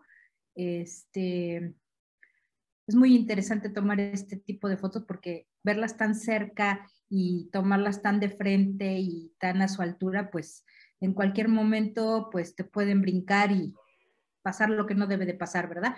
Pero afortunadamente donde la tomé eh, las tienen muy bien controladas y bueno, pues decidí mandar esta foto. Perfecto. A ver, Maye, tengo una duda. Entonces, ¿no había cristal entre tú y ella? No. Ah, qué miedo. ok. Fíjate que yo pensaba que había cristal, entonces me daba un poco más de tranquilidad. Pero bueno, el caso es que yo creo, esta foto se me hace maravillosa, me gusta mucho, porque no solo captaste el ojo, sino también el cascabel no sé si se llama cascabel en este tipo de víboras. Sí. Bueno, también no sé si es eh, culebra, víbora, ya ves que hay muchos tipos de, esta especie. Pero me gusta que en la misma foto sale eh, toda esa S que hace el cuerpo, que te va llevando de cuerpo, cabeza, cuerpo, eh, cola, cascabel. me parece que agarraste un enfoque, un encuadre muy bien pensado eh, no necesitamos ver más, más de, este animal, pero sí, sí eh, tenemos todo eh, concentrado en ese, en ese encuadre que hiciste. El enfoque en el ojo está nítido, la viveza del ojo, obviamente contrastado por el color azul, y, el cuerpo verde crea una, una, una, sensación muy, muy imponente del animal. Es una muy buena foto, Machi. Eh, yo iba a hablar de la foto, pero hay muchas preguntas, entonces te las vamos a hacer. Eh, alguna persona dice que le gusta el, formato cuadrado que pusiste, ya contestaste si había un vidrio enfrente. Preguntan por los parámetros. Los parámetros fueron F3.5, 1 sobre 125, ISO 1000 y 70 milímetros. Me imagino que fue con el 2470. Sí. Preguntan a qué distancia la tomaste. Pues como a dos, eh, eh, ella debe haber estado como a dos o tres metros de mí. No, yo no estaba tan lejos de ella. Había, había dos personas de cada lado eh, de esta víbora. Estaban dos personas para que en cuanto quisiera saltar, pues obviamente la, la detenían pero afortunadamente no, no, no, no tuvieron que llegar a nada de esto para que yo pudiera tomar estas fotos.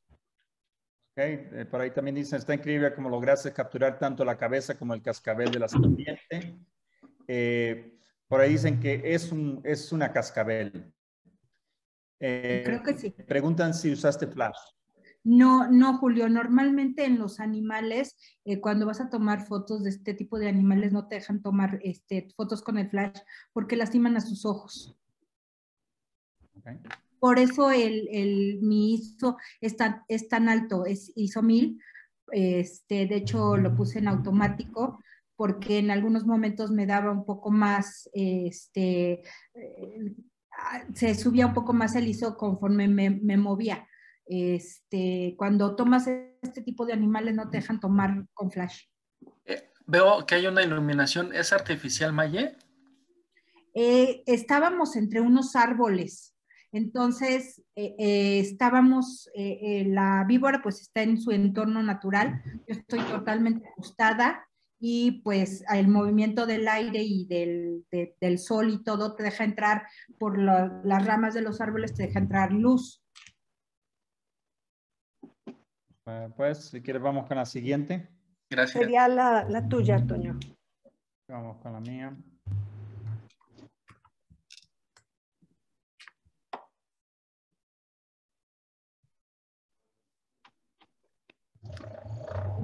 Okay. Eh, esta foto eh, fuimos a una laguna por Tlaxcala. Eh, estábamos tomando aves. Vi la, esta ave ahí paradita en una piedra adentro del, agua, en la orilla, entonces me completamente acosté. Yo estaba completamente acostada, eh, me, puse a, eh, tenía un lente de, 500 milímetros de lejos para que no se volara el ave. Y, me gustó cómo, cómo, quedó el ave, la puse en el tercio izquierdo y para darle un poquito la ley de la mirada hacia la derecha, lo abrí. No sé qué tipo de ave es. Es un zanate, dice, dice Dulce, ¿ok? Bueno, ok. Este, yo voy a hablar de esta foto. Esta foto creo que, o sea, yo creo que está, está muy bien complementada y compenetrada en sí misma. Es una, a mí me parece una excelente foto porque, o sea, también por lo menos a mí me hace sentir un poco más, ¿no? No nada más es un ave o, algo por el estilo, sino que hay todavía una, atmósfera en ella. Entonces, a mí me gusta mucho eso, esos colores todos grises que, tirando hacia el negro con, los, con el fondo azul, grisáceo también. Creo que, creo que hace, hace que la foto este, que quede bastante, bastante bien esa, esa suavidad en el agua, en el, fondo que está en la parte de arriba verdosa, que también es muy suave. Eh, a mí me, me, gusta muchísimo lo que, lo que me puede transmitir. Eh, creo que también está justo lo que tiene que estar de piedra en, en, en el ave, bueno, lo que está de piedra, está, está genial y, y, aparte el enfoque en el ave, pues está, está supremo. Me parece una excelente foto. Gracias. Y yo también creo que la composición está súper bien lograda. Eh, eh, como tú dices, la ley de la mirada, el espacio, el ojo amarillo contrastando con, su cuerpo cálido también, pero, pero crea un enfoque especial en su mirada que te lleva obviamente a la buena definición que tiene en el pico, en las patas, en todo el cuerpo. Es una foto muy, muy bien lograda. Pregunta por ahí por los parámetros. Los parámetros fueron eh, F7.1, 1 sobre 1600, ISO 380 y mi distancia focal fueron 500 milímetros para que no, no se volara. Ok.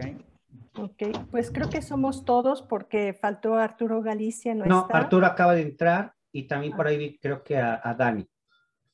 Ok. Ah, ok. Entonces eh, ya están. Oye, yo nada más rápido. Toño, ¿le pusiste atrás en, en el agua eh, eh, esta cosa que dicen que es este, hay efecto Damansky? No. No, Adamski. No, no, estaba yo tan acostado que yo estaba viendo el agua casi a nivel del agua y por eso dio ese efecto. Ah, ok, ok. y como estaba con 500 milímetros, comprime y por eso es que da un poquito ese efecto Damask. Ok. Nada más piden que repitas, repitas parámetros y si usaste el estabilizador del lente. Sí, usé el estabilizador del lente. Eh, la, única la única vez que yo no uso el estabilizador del lente es cuando lo tengo en un tripié. Pero sí usé el estabilizador del lente y como lo tomé uno sobre 1600 por si acaso salía volando el ave, 500 milímetros. El ISO lo tuve que subir un poquito para la velocidad, fue 380 y le puse F7.1 para darle un poquito de profundidad de campo al ave. Okay. Entonces dijeron que eh, Daniel, Daniel estaba por ahí. Okay. Arturo Galicia y Daniel. sí. Ok, aquí está la de Daniel Huerta. ¿Qué nos puedes, qué nos cuentas, Daniel? Sí, pues eh, fue una foto que tomé muy rápido porque esta ave vuela muy, muy rápido, no, no sé cómo se llama. Y es por eso la, la razón por la cual la tomé. Creo que, si no me recuerdo, fue también a uno sobre 1600 y bueno, pues eh, estuvo así un par de segundos, alcancé a enfocarla. Y, bueno, sí quise darle ese efecto de las, de las líneas de, de, las ramas, sobre todo para que tuviera como una cierta composición con base en las líneas y, que las líneas llevaran al centro de, del ave. Y también lo que me gustó mucho fue que el color del, del ave o del ave este, contrasta con el azul del cielo la tomé a 300 milímetros, estaba muy, muy, este, no, no, tan lejos, estaba en un árbol, pero sí quise hacer esa composición donde el ave parece que hace cruz con la, con la rama sobre la que está parada. Sí, eh, bueno, fíjate que esta, esta ave que a mí me encanta porque es tan pequeña como la acabas de decir, tan pequeña como un colibrí eh, y son muy rápidas también eh, y siempre están en las partes más oscuras de los árboles. Entonces son muy difíciles de, captar. Entonces lograste una, un enfoque en el momento perfecto. El, el, ave está totalmente enfocada. Tenemos las líneas que nos llevan la rama de la parte inferior izquierda a la parte superior derecha eh, y eso hace una armonía. El sujeto en el centro y con el color amarillo, el cielo azul, entonces hace esa combinación que, lo resalta más a él. Entonces es una muy buena foto. Por, ahí dicen que es un chipe corona negra. Eh, yo te puedo decir que sí, a mí me gusta, esta foto me gusta el enfoque. Un enfoque lo lograste exactamente, se le ven hasta los pelitos que están alrededor del pico es muy difícil de, conseguir, especialmente con estas aves tan pequeñas, así que conseguiste muy, muy buen enfoque. Me imagino que parte de eso es porque lo tomaste a uno sobre 2500, es decir, que cualquier movimiento lo estabas, lo estabas congelando. Eh, alguna gente hubiera dicho, ah, me molestan todas esas ramas, pero no, yo creo que lo pudiste eh, con el eh, con desenfoque que le diste, las ramas de atrás se, se pierden. Así que yo creo que en ese sentido lo hiciste muy bien, yo la considero una, una muy buena foto. Dicen que es una ave migratoria, una especie migratoria, eh, que no le molestan las aves, que es más que ayude a la composición. ¿Alguien más quiere hacer algún otro comentario? Sí, yo lo, mismo. A mí también, o sea, el enfoque está, está genial. eh, aparte el, el ojito del, del, ave brilla y aparte la combinación de colores, el amarillo con el azul, a, a mí me, me, gusta bastante. Estamos, seguimos hablando un poco del ciclo cromático que después Adi nos va a hablar con más detalle, pero sí, esas son las cosas que hacen resaltar fotos como esta. Muy bien, Daniel. Así es. Vamos con Arturo. Gracias, Toño, Adri y Alberto, gracias. De nada, Daniel. Arturo Galicia. Hola a todos, buenas noches. Hola, Arturo. Una disculpa por llegar tan tarde. Ya llegaste, que es lo bueno, para hablar de tu foto. Ok, ¿qué nos puede contar, Arturo? Bueno, la fotografía la tomé en Tecomavaca, Oaxaca, la parte sur de la reserva de la biosfera. Íbamos a fotografiar guacamayas, fui yo con Jorge González, y en el camino, preparando las cosas y la cámara, me encontré con una, esta pareja de aves, pero solamente pude fotografiar una de las dos, dio un par de vueltas, y en el vuelo fue la, la foto que tomé mejor enfoque tenía yo, la, yo creo que estaba más o menos como a unos 20 metros más o menos de mí. Estaba cerca. Nos sorprendió porque no los habíamos visto entre unos arbustos y se espantaron también y salieron volando y, y fue lo que pudimos captar. Okay. Perfecto. Fíjate, de esta foto, a mí lo que me gusta es el momento que captaste. Me gusta eh, cómo se ven sus alas completamente extendidas eh, se ve muy bien sus, sus patitas, eh, toda, toda la, la, estructura del ave en la posición en la que va hacia arriba.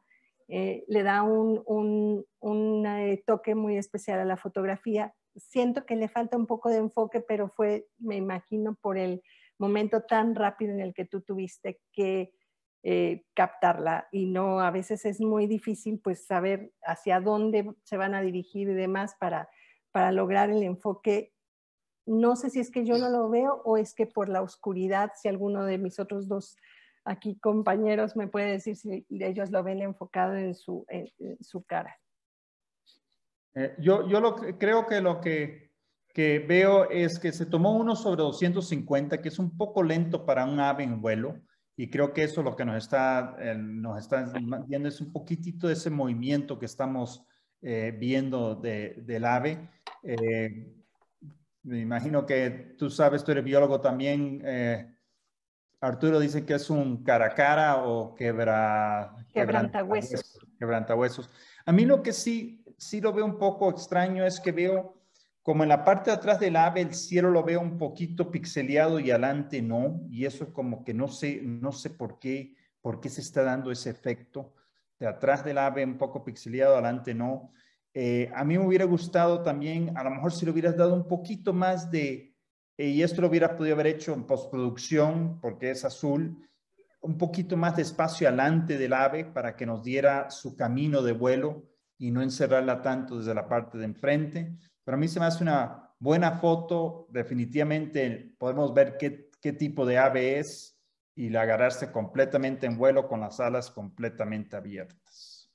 No Fíjense sé. que eh, no pude hacer eso de postproducción porque no lo sé hacer. Ah, El okay. ave estaba por salir y entonces lo que hizo fue recortar un poquito a la izquierda porque okay. se veía parte del cactus. Okay. Entonces dije, bueno, para no distraer con el cactus, lo tomo, porque en sí es una secuencia de varias imágenes desde que está posando, está perchando en el cactus y sale volando. Son como cuatro o cinco imágenes. Pues esta es la esta que tengo en vuelo completa. Sí pensé ah. lo que tú dijiste. Dije, bueno, puedo copiar de un lado y pegar en el otro para que se vea el cielo, pero no lo supe hacer. Ajá. Sí, porque era lo que yo quería preguntar, Arturo. ¿Qué tanto recorte tiene la fotografía? Muy poquito. Nada más es la orilla por donde, por donde está el 0, el 03, cuando mucho por ahí. Okay. Por eso bueno, se ve hacia la derecha. Digo, porque aquí, aquí sí, o sea, me gusta mucho lo que decía Adrián, esa extensión de aves, de, de alas y todo eso, ese tipo de cuestiones, pero sí, en, en, cuestiones técnicas, vamos a hablarlo, sí le veo algunos errores muy fuertes, como ese ruido, tiene un ruido, tiene, tiene tanto ruido este, cromático como ruido de luminancia en, en, la parte de atrás. Es un ruido muy fuerte, a pesar de que es un ISO 400. Eh, las alas también tienen, tienen una, una, este, una aberración cromática enorme este, y arriba también de, su cabeza también, o sea, este, hay, hay halos completos alrededor del ave y eso es lo que no, no, eh, eh, no me termina de gustar en lo absoluto y pues, son, errores técnicos. Bueno, no, no, lo sé hacer y no, no sé manejar esa parte de, de los programas, ¿no? Lo único que hice fue quitar ese pedacito de cactus e intenté pegarlo del otro lado, pero no pude. Entonces dije, bueno, mejor la dejo como estaba en ese sentido, por, por, la parte del ave, ¿no? Sí, sí, ok, está bien. Porque me quedaba una plasta horrorosa si le pegaba. Ok. Perfecto, creo que somos todos. Gracias, Arturo. Creo que somos todos. Ok. Entonces, eh, teníamos dos, dos preguntas que se nos habían hecho. Una pregunta es si podíamos explicar más cómo funciona el ciclo cromático y los colores en la fotografía y esa pregunta nos la va a contestar a Adriana. Y la otra pregunta era si para tomar eh, macro se necesita un lente macro y esa foto no la, esa pregunta nos la va a contestar Alberto. Entonces, si quieres, comienzas eh, tú, Adri, dime qué, qué necesitas que te ponga. Solo las dos imágenes. Primero la que tiene el título de círculo. Ahí está. Teoría del color y círculo cromático. Bueno, va a ser algo breve para no, nada más que les quede un poquito claro y ahorita también nos va a servir para ver las fotos que acabamos de ver y que ustedes entiendan un poquito cómo sin pensarlo están incluidas en esta, en esta teoría del color. Entonces, eh, bueno, les busqué estas imágenes para, eh, para que ustedes comprendan un poquito más, aunque todos ya lo sabemos y lo hemos aplicado. En la fotografía, el color es uno de los principales elementos de composición. Puede transformar el aspecto de una imagen, capturar la atención del observador, guiando su mirada hacia un punto específico de la foto y ayuda a crear una conexión entre la persona y tus fotos. Existen tres colores que el ojo humano puede percibir por medio de la luz. Estos tres colores se les llaman primarios, los que conocemos como rojo, amarillo y azul. Y azul. ¿Por qué se les llama primarios? Porque son colores puros, colores únicos y absolutos que no necesitan ningún otro color para crearse. Eh, algunos los llaman colores luz y porque obviamente vienen de la, de la refracción que nos da la luz hacia el ojo y la combinación de estos tres también nos da el negro. Entonces el, negro básicamente es la ausencia de luz.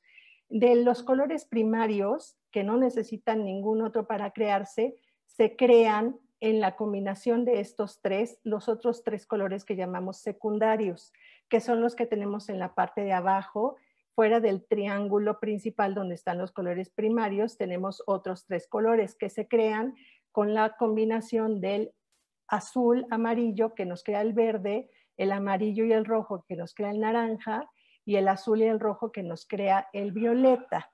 Esos son los dos más importantes componentes que tenemos, los primarios y los secundarios.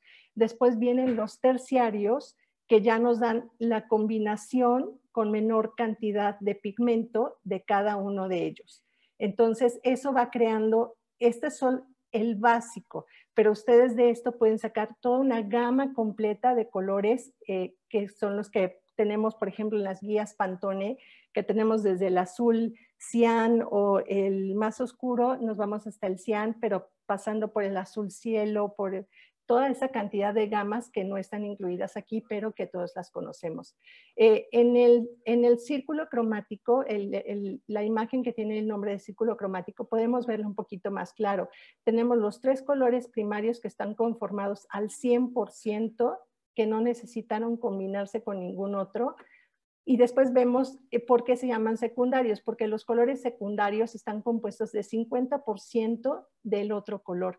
Es decir, el, naranja está conformado del 50% del amarillo y el 50% del rojo. Lo mismo pasa con el violeta, que está compuesto con el 50% de azul y el 50% de rojo. Y así nos pasa el amarillo, que nos da em, el verde, con el 50% de, de amarillo y el 50% de azul. Y los terciarios que les comentaba yo que son los colores que están con el 50% y el, o el 75% de pigmento y el 25% que lo conforma el otro color. Entonces, para tener una gama de colores, pues necesitamos ir poniendo menos pigmento para que se vaya degradando. ¿Podemos pasar a la otra? Aquí ya nos vamos a adentrar un poquito más a, lo que, a, a los ejemplos ya fotográficos en donde yo creo que ustedes van a identificar lo que acabamos de ver ahorita con algunas fotos que nos presentaron. Los colores eh, complementarios son los que están opuestos al círculo cromático, es decir, un color primario con un color secundario, pero el color secundario recuerden que está compuesto de dos colores. Entonces, el rojo y verde el rojo es el, color primario, aquí lo tenemos con una flecha ahí marcado, y el verde que nos compone el amarillo y el azul. Entonces aquí tenemos los ejemplos claros de el rojo con el verde, el, amarillo con el azul y el violeta con el amarillo. Todos están compuestos por dos colores, uno primario, uno secundario. Y aquí vemos el ejemplo muy claro que me gustó mucho del eh, el girasol, que a veces tiene tonos naranjas, eh, amarillos, cómo se complementa con el azul, que es lo que vimos ahorita con eh, la foto, si alguien me va recordando también, si se acuerdan, con la foto de Daniel, eh, que el pajarito amarillo con el cielo azul. Entonces, esos son los colores complementarios que se utilizan mucho. También, por ejemplo, en los sets de fotografía, cosas que se quieran resaltar, pero sobre todo, aunque no nos demos cuenta, todos están implícitos en la naturaleza. Entonces es muy, es muy chistoso que van a ir viendo que todo lo, manejamos, aunque no lo tengamos como predeterminado para hacer, ¿no? Eh, los colores análogos, que siempre escuchamos, bueno, o sea, ¿qué es lo que nos da un color análogo? El color análogo es el que está junto, toda la gama de colores que están juntos al color primario y toda la gama, aquí hay tres, por ejemplo, pero ustedes saben, si agarran una guía Pantone, hay más de 20 tonos. Entonces, ustedes pueden usar en sus fotografías cada uno de esos tonos que vengan del color más cercano al color primario. Y el término análogo viene de similitud o parentesco. Quiere decir que son todos los colores que tengan parentesco en la gama de color.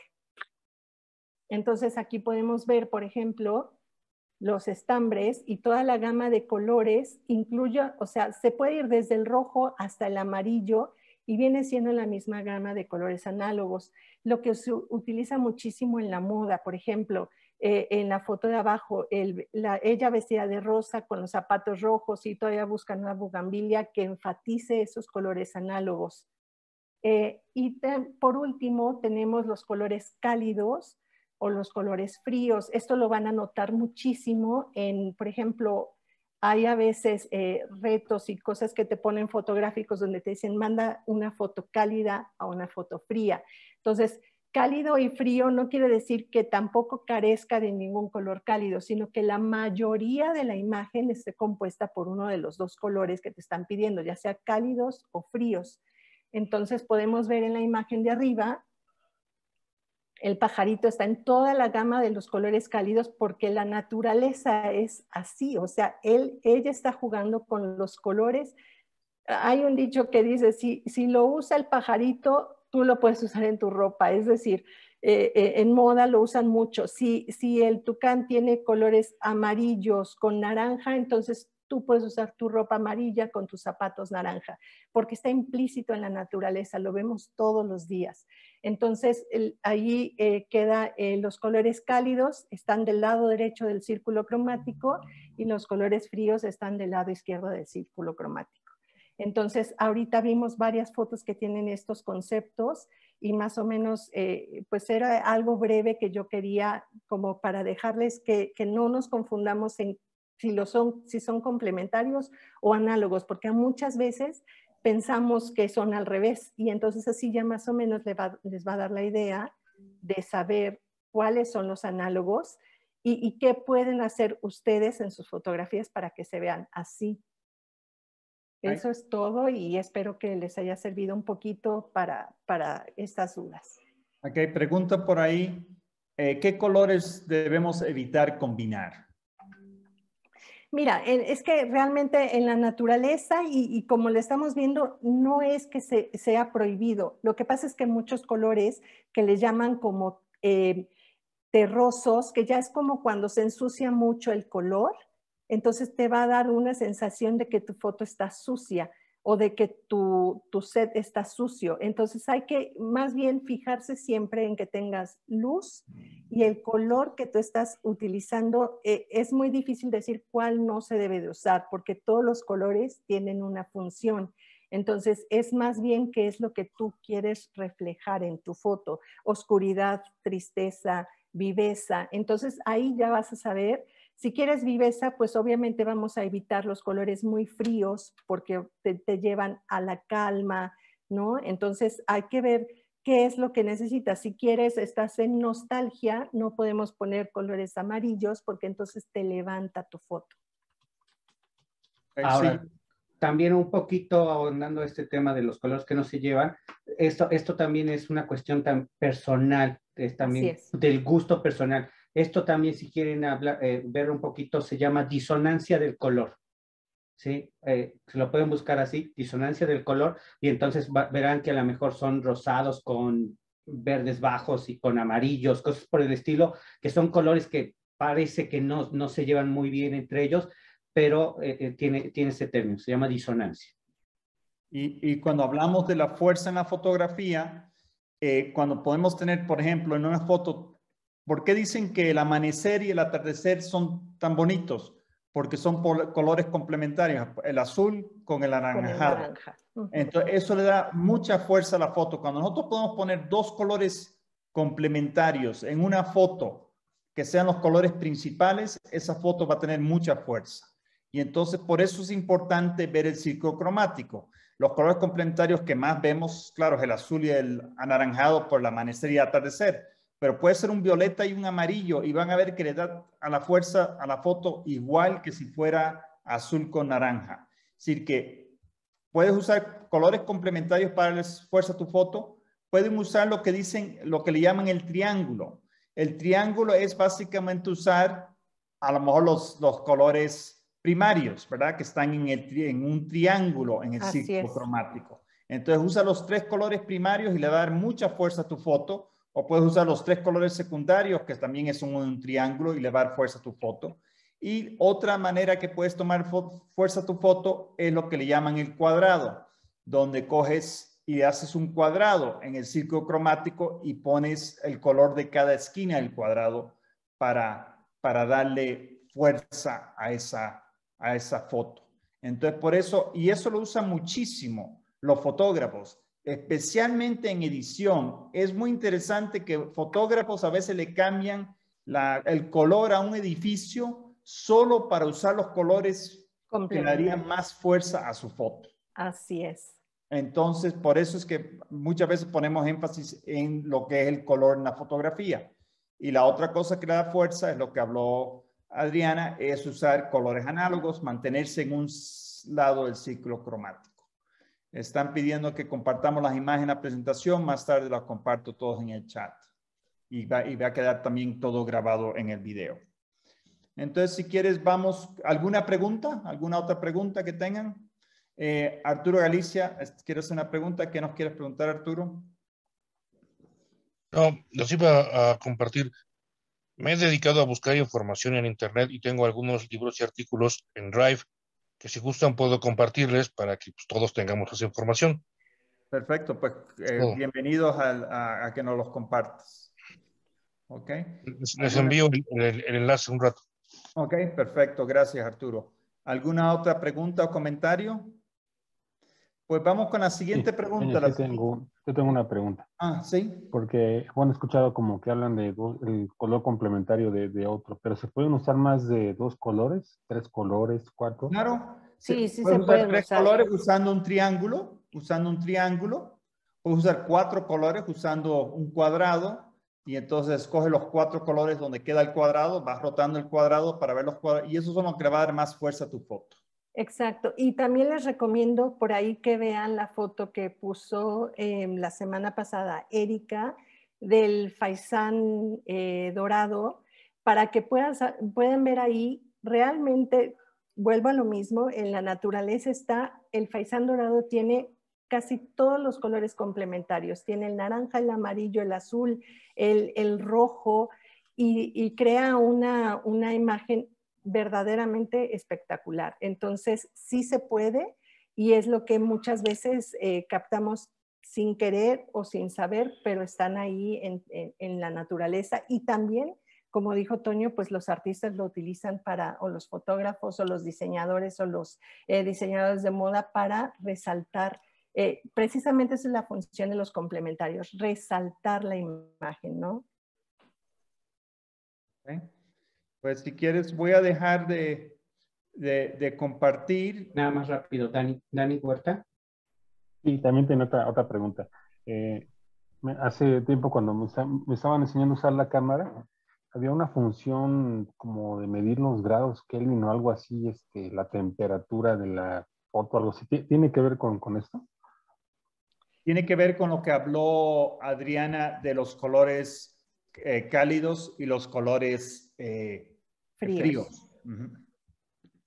También recuerden que la computadora no nos marca un azul, amarillo y rojo, porque esto se utiliza en las artes plásticas y en las fotografías, pero por los monitores, las computadoras nos manejan un CMYK, o sea que son el cian, magenta, el amarillo y el negro que es básicamente no porque no estén compuestos iguales, sino por los efectos de luz a la hora de imprimir que se utiliza en imprentas. Por eso muchas veces vemos eh, CMYK y también el RGB, pero es para la industria eh, tecnológica o de impresión. Ahí yo tenía una pregunta. Tengo, pero creo que ya la contestaste. Cuando usamos RGB, no se menciona nunca el amarillo. No. Eh, ¿No se toma en cuenta en edición el amarillo para eso? No, sí se toma en cuenta, pero es solamente por una composición eh, de los monitores. O sea, el, monitor no toma el amarillo, es que no, es, no, no, funciona como el ojo humano. Entonces, el ojo capta este color, pero en el monitor funciona mejor el verde. De hecho, tienes los dos, el CMYK y el RGB. Los dos eh, son para diferentes opciones, depende de cómo la vas a, eh, ya sea una proyección o una impresión. El impresor siempre te lo va a pedir en CMYK, pero está hablando igual del círculo cromático, pero es más tecnológico, es por cuestión de mezcla de tintas y de los procesos de impresión. Gracias.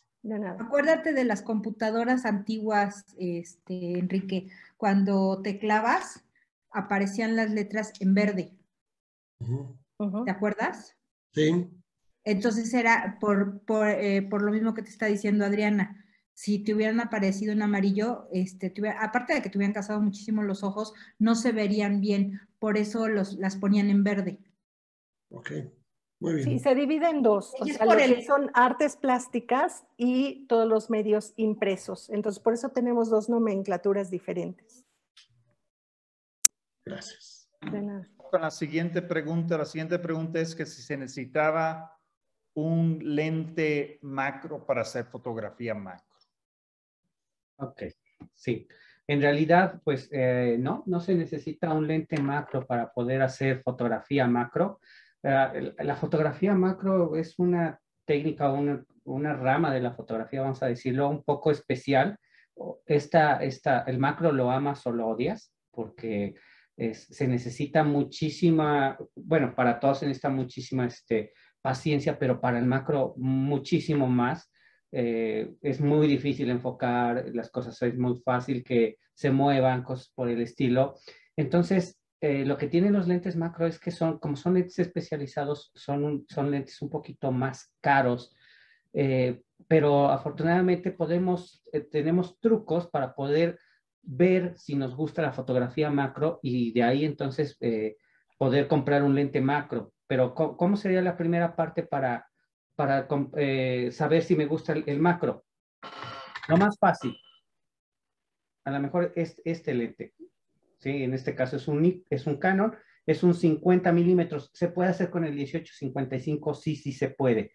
La ventaja de un 50 milímetros fijo es que son muy luminosos, ¿sí? Y lo que vamos a hacerle a estos lentes es que...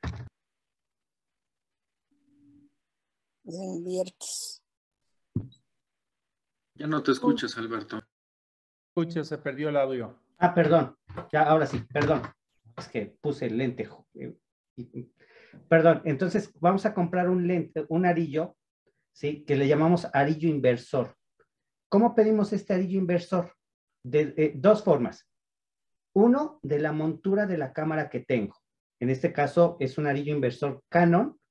Y la, y la otra, de el diámetro de mi lente. ¿Sí? En este caso va, a ser un 52 milímetros. Lo que yo hago, nosotros ponemos el lente normalmente así, hacia la cámara. ¿Sí? O sea, normalmente, como siempre lo manejamos. Pero ahora lo que voy a hacer es que voy a meter, si se alcanza a ver, el arillo inversor, ¿sí? Aquí está la montura. Y ahora este va hacia el lente. No sé si se alcanza a ver. Entonces ayuda a poner el lente al revés. Y lo que hace es que pongo el lente al revés, exactamente. Eso es lo que hago. Y entonces este lente me sirve como una lupa. ¿Sí? Y me permite entonces hacer fotografía macro de forma fácil. La mera verdad, bueno, fácil para lograr los efectos del macro, porque también tiene sus dificultades. En Canon, ¿cuál es la dificultad? Que cuando yo quito el lente, ¿sí? El diafragma se abre completamente. Nosotros sabemos que cuando abrimos por completo un diafragma tenemos poca profundidad de campo. Así que voy a tener, voy a, debo tener muchísimo cuidado en, en, esta parte del enfoque. Exactamente, es muy fácil que las cosas se me desenfoquen. Si soy Nikon, y supongo que también Sony, lo que hace el diafragma es que se cierra en los lentes. Y ahora lo que voy a tener problemas es problemas de exposición, porque voy a tener muy pequeño el diafragma. Voy a tener mucha profundidad de campo, pero voy a tener poca entrada de luz. Y ese es el problema que voy a tener. Aunque es más fácil en los Nikon, porque los Nikon tienen aquí una palanquita, y esa palanquita la puedo, la puedo estar moviendo y puedo abrir y cerrar un poco el diafragma, lo que no puedo hacer con Canon. Canon no tiene nada de ese tipo de cuestiones. Beto. Sí. sí. Habla Julio Inge. Oye, este, fíjate que a mí una vez en un cursillo, no me acuerdo de qué era, pero era de foto, me enseñaron cómo controlar eh, la, la, apertura del lente este, con el lente invertido. En Canon. En Canon. Sí, lo que haces, eh, lo que haces es que lo pones, le, uh -huh. pero es, es, mucha lata, lo pones, le pones el diafragma, Exacto. Este, lo sac y lo, lo, lo, lo, dejas apretado, pero, pero por ejemplo, la, la T7 no tiene esas funciones. ¿Sí? La T7 no. No, o, o, tiene, o hay tiene, que poner... a, a, un costado del lente tiene un botoncito que es para, para simular la, en la Sí. profundidad de campo, ¿no? Este, Ándale. en este caso. Pero la, T, la T7 no lo trae. Ok, bueno, ah, salvo, salvo esa cámara, yo creo que los demás podrían ah, controlar este, la profundidad Sí, de campo. en ese, eh, eh, la profundidad de campo, pero sí es Así muy es. lata. Lo que está explicando, lo que está diciendo Julio, es que, por ejemplo, yo le voy a poner un 8, un diafragma 8, aprieto aquí lo que es el, el, el, el- este Sí. botón que es el, ¿cómo se llama? Es- el un- previsualizador, previsualizador de, de profundidad de de campo. profundidad de campo. Lo aprieto y entonces lo que hago es que saco el lente, apretando eso, y entonces ya se queda en diafragma 8. correcto. Así es. Sí, se queda cerrado. ¿Sale? Eso, así lo puedo hacer, así lo puedo hacer en, en- en- ¿cómo se llama? En Canon, En pero Canon. sí, a veces es un poco latoso.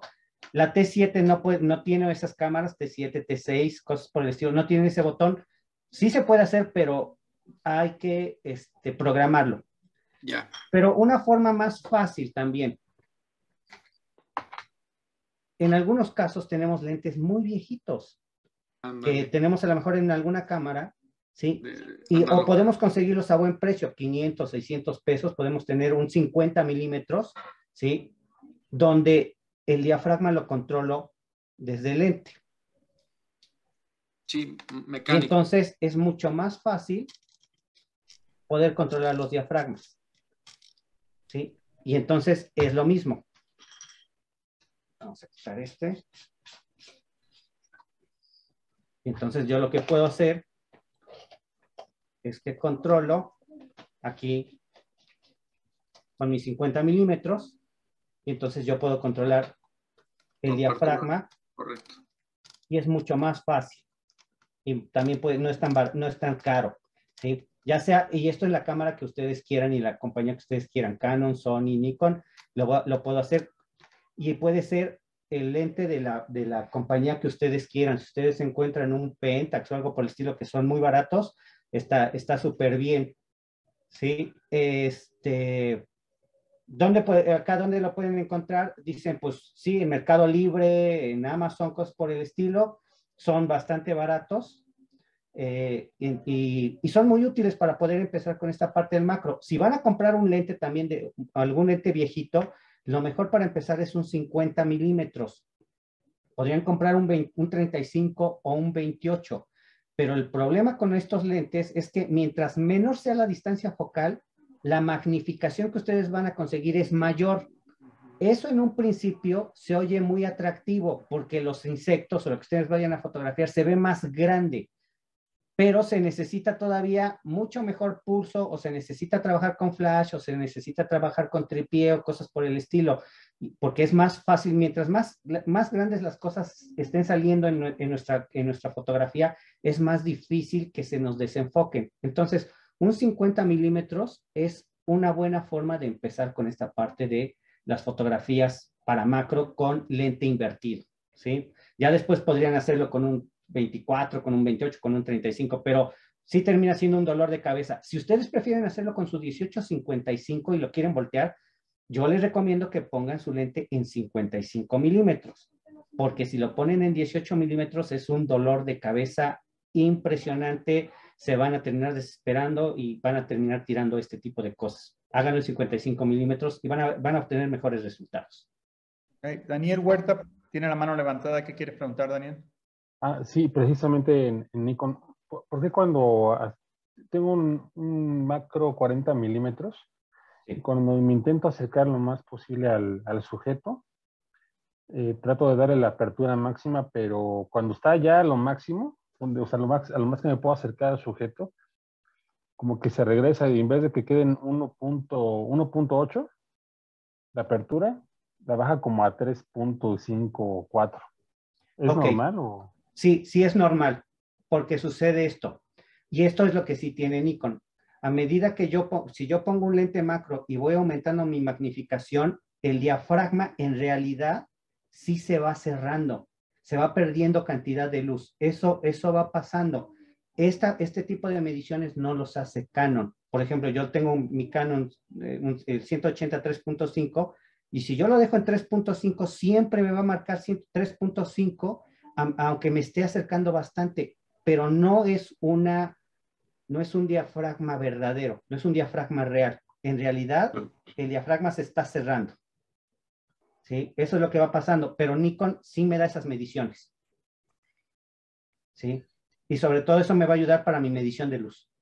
Y hay otra pregunta que dice, acabo de ver en mi lente 1855, dice macro, punto 25 milímetros, línea diagonal, punto 8 feet. Eh, sí, eso, eso me dice que el, lente que estás viendo o lo que tienes es un es Canon, es un lente Canon. Canon tiene la muy mala costumbre de ponerle a sus lentes a un costado la palabra macro. Y entonces pensamos que el lente puede hacer fotografía macro y no es cierto. Lo único que nos está marcando es la distancia mínima de enfoque. Yo lo que hago con mis alumnos es que les digo que pongan su dedo enfrente de, su cara, de sus ojos, y que se los vayan acercando, y va a llegar un momento en que no van a poder enfocar su, su, dedo, ¿sí? Eso también sucede que nuestros ojos tienen una distancia mínima de enfoque, como los lentes. nosotros no podemos acercar los lentes hacia las cosas que queremos fotografiar como nosotros queramos y siempre vamos a poder enfocar. No se puede. Lo que nos está diciendo es que es la distancia mínima de enfoque que va a existir entre lo que estoy fotografiando, ¿sí? Y el plano. En realidad el plano es el sensor de mi cámara. ¿Dónde sé que está el sensor de mi cámara?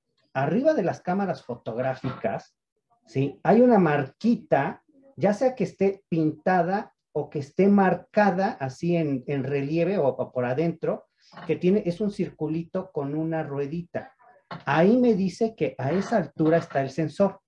Y ahí es donde tengo que marcar la distancia. Si me dice 25 centímetros, 28 centímetros, entonces tengo que, tienen que ser 25 centímetros, 28 centímetros de mi plano, que es el sensor, a lo que estoy fotografiando. Si estoy por adentro de eso, no voy a poder enfocar. Todos los lentes tienen distancias, tienen distancias de enfoque mínimas distintas mientras más sean telefotos, las distancias son mayores a 1.2, 1.5 metros, cosas por el estilo, ¿sí? Si son 70, 300 o algo por el estilo, si son 500 milímetros, sus distancias mínimas de enfoque son todavía mucho mayores. Por eso los telefotos no sirven como macros, porque a veces pensamos de que como van a acercar mucho, ah, pues me pueden acercar el insecto. No, porque entonces a lo mejor me tengo que alejar 5 metros para fotografiar una mosca y de todas maneras igual me sale súper chiquita.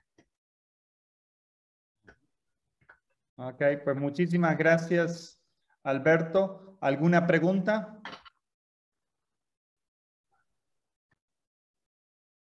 Sí, tengo otra pregunta, Toño. Sí, hay quienes dicen que para tomar fotografía de retrato algunos lentes macro son muy buenos, pero también es como una discusión que escucho en, redes, de que no, no, porque como que inclusive magnifican los, este, los, las imperfecciones del rostro. No, no, sé qué me puedan comentar al respecto. A ver, sí, sí.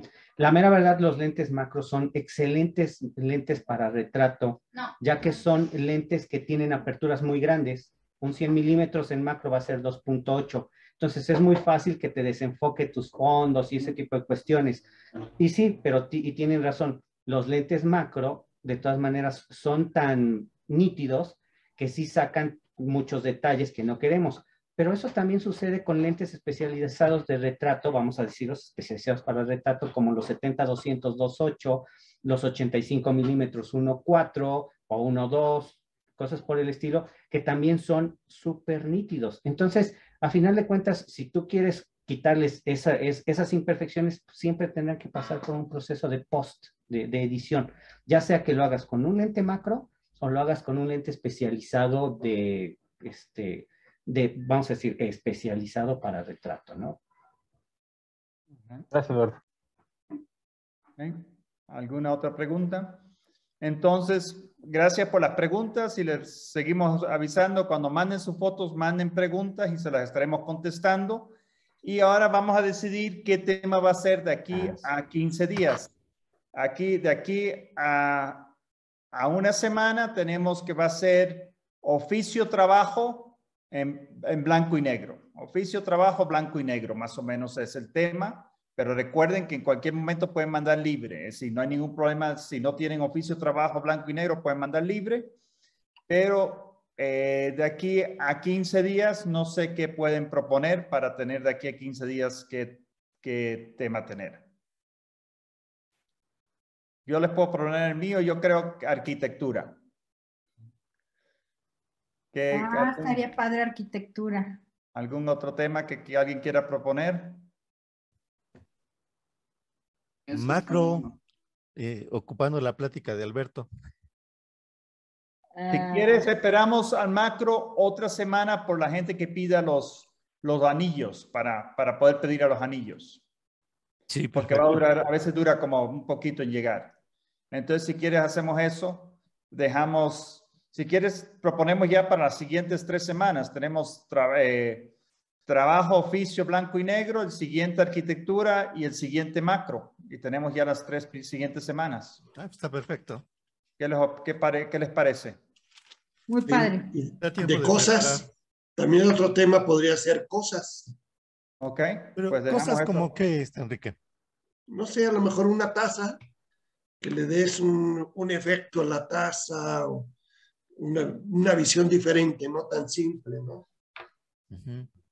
Puede ser interesante, pero hay que buscarle un poco más entonces para poderla clarificar, pero lo vamos a tomar en cuenta, ¿no? Parece mal tema. Sí, está a lo mejor mezclar eso con minimalismo o algo así. Ah, es buena idea. Ok. Ok.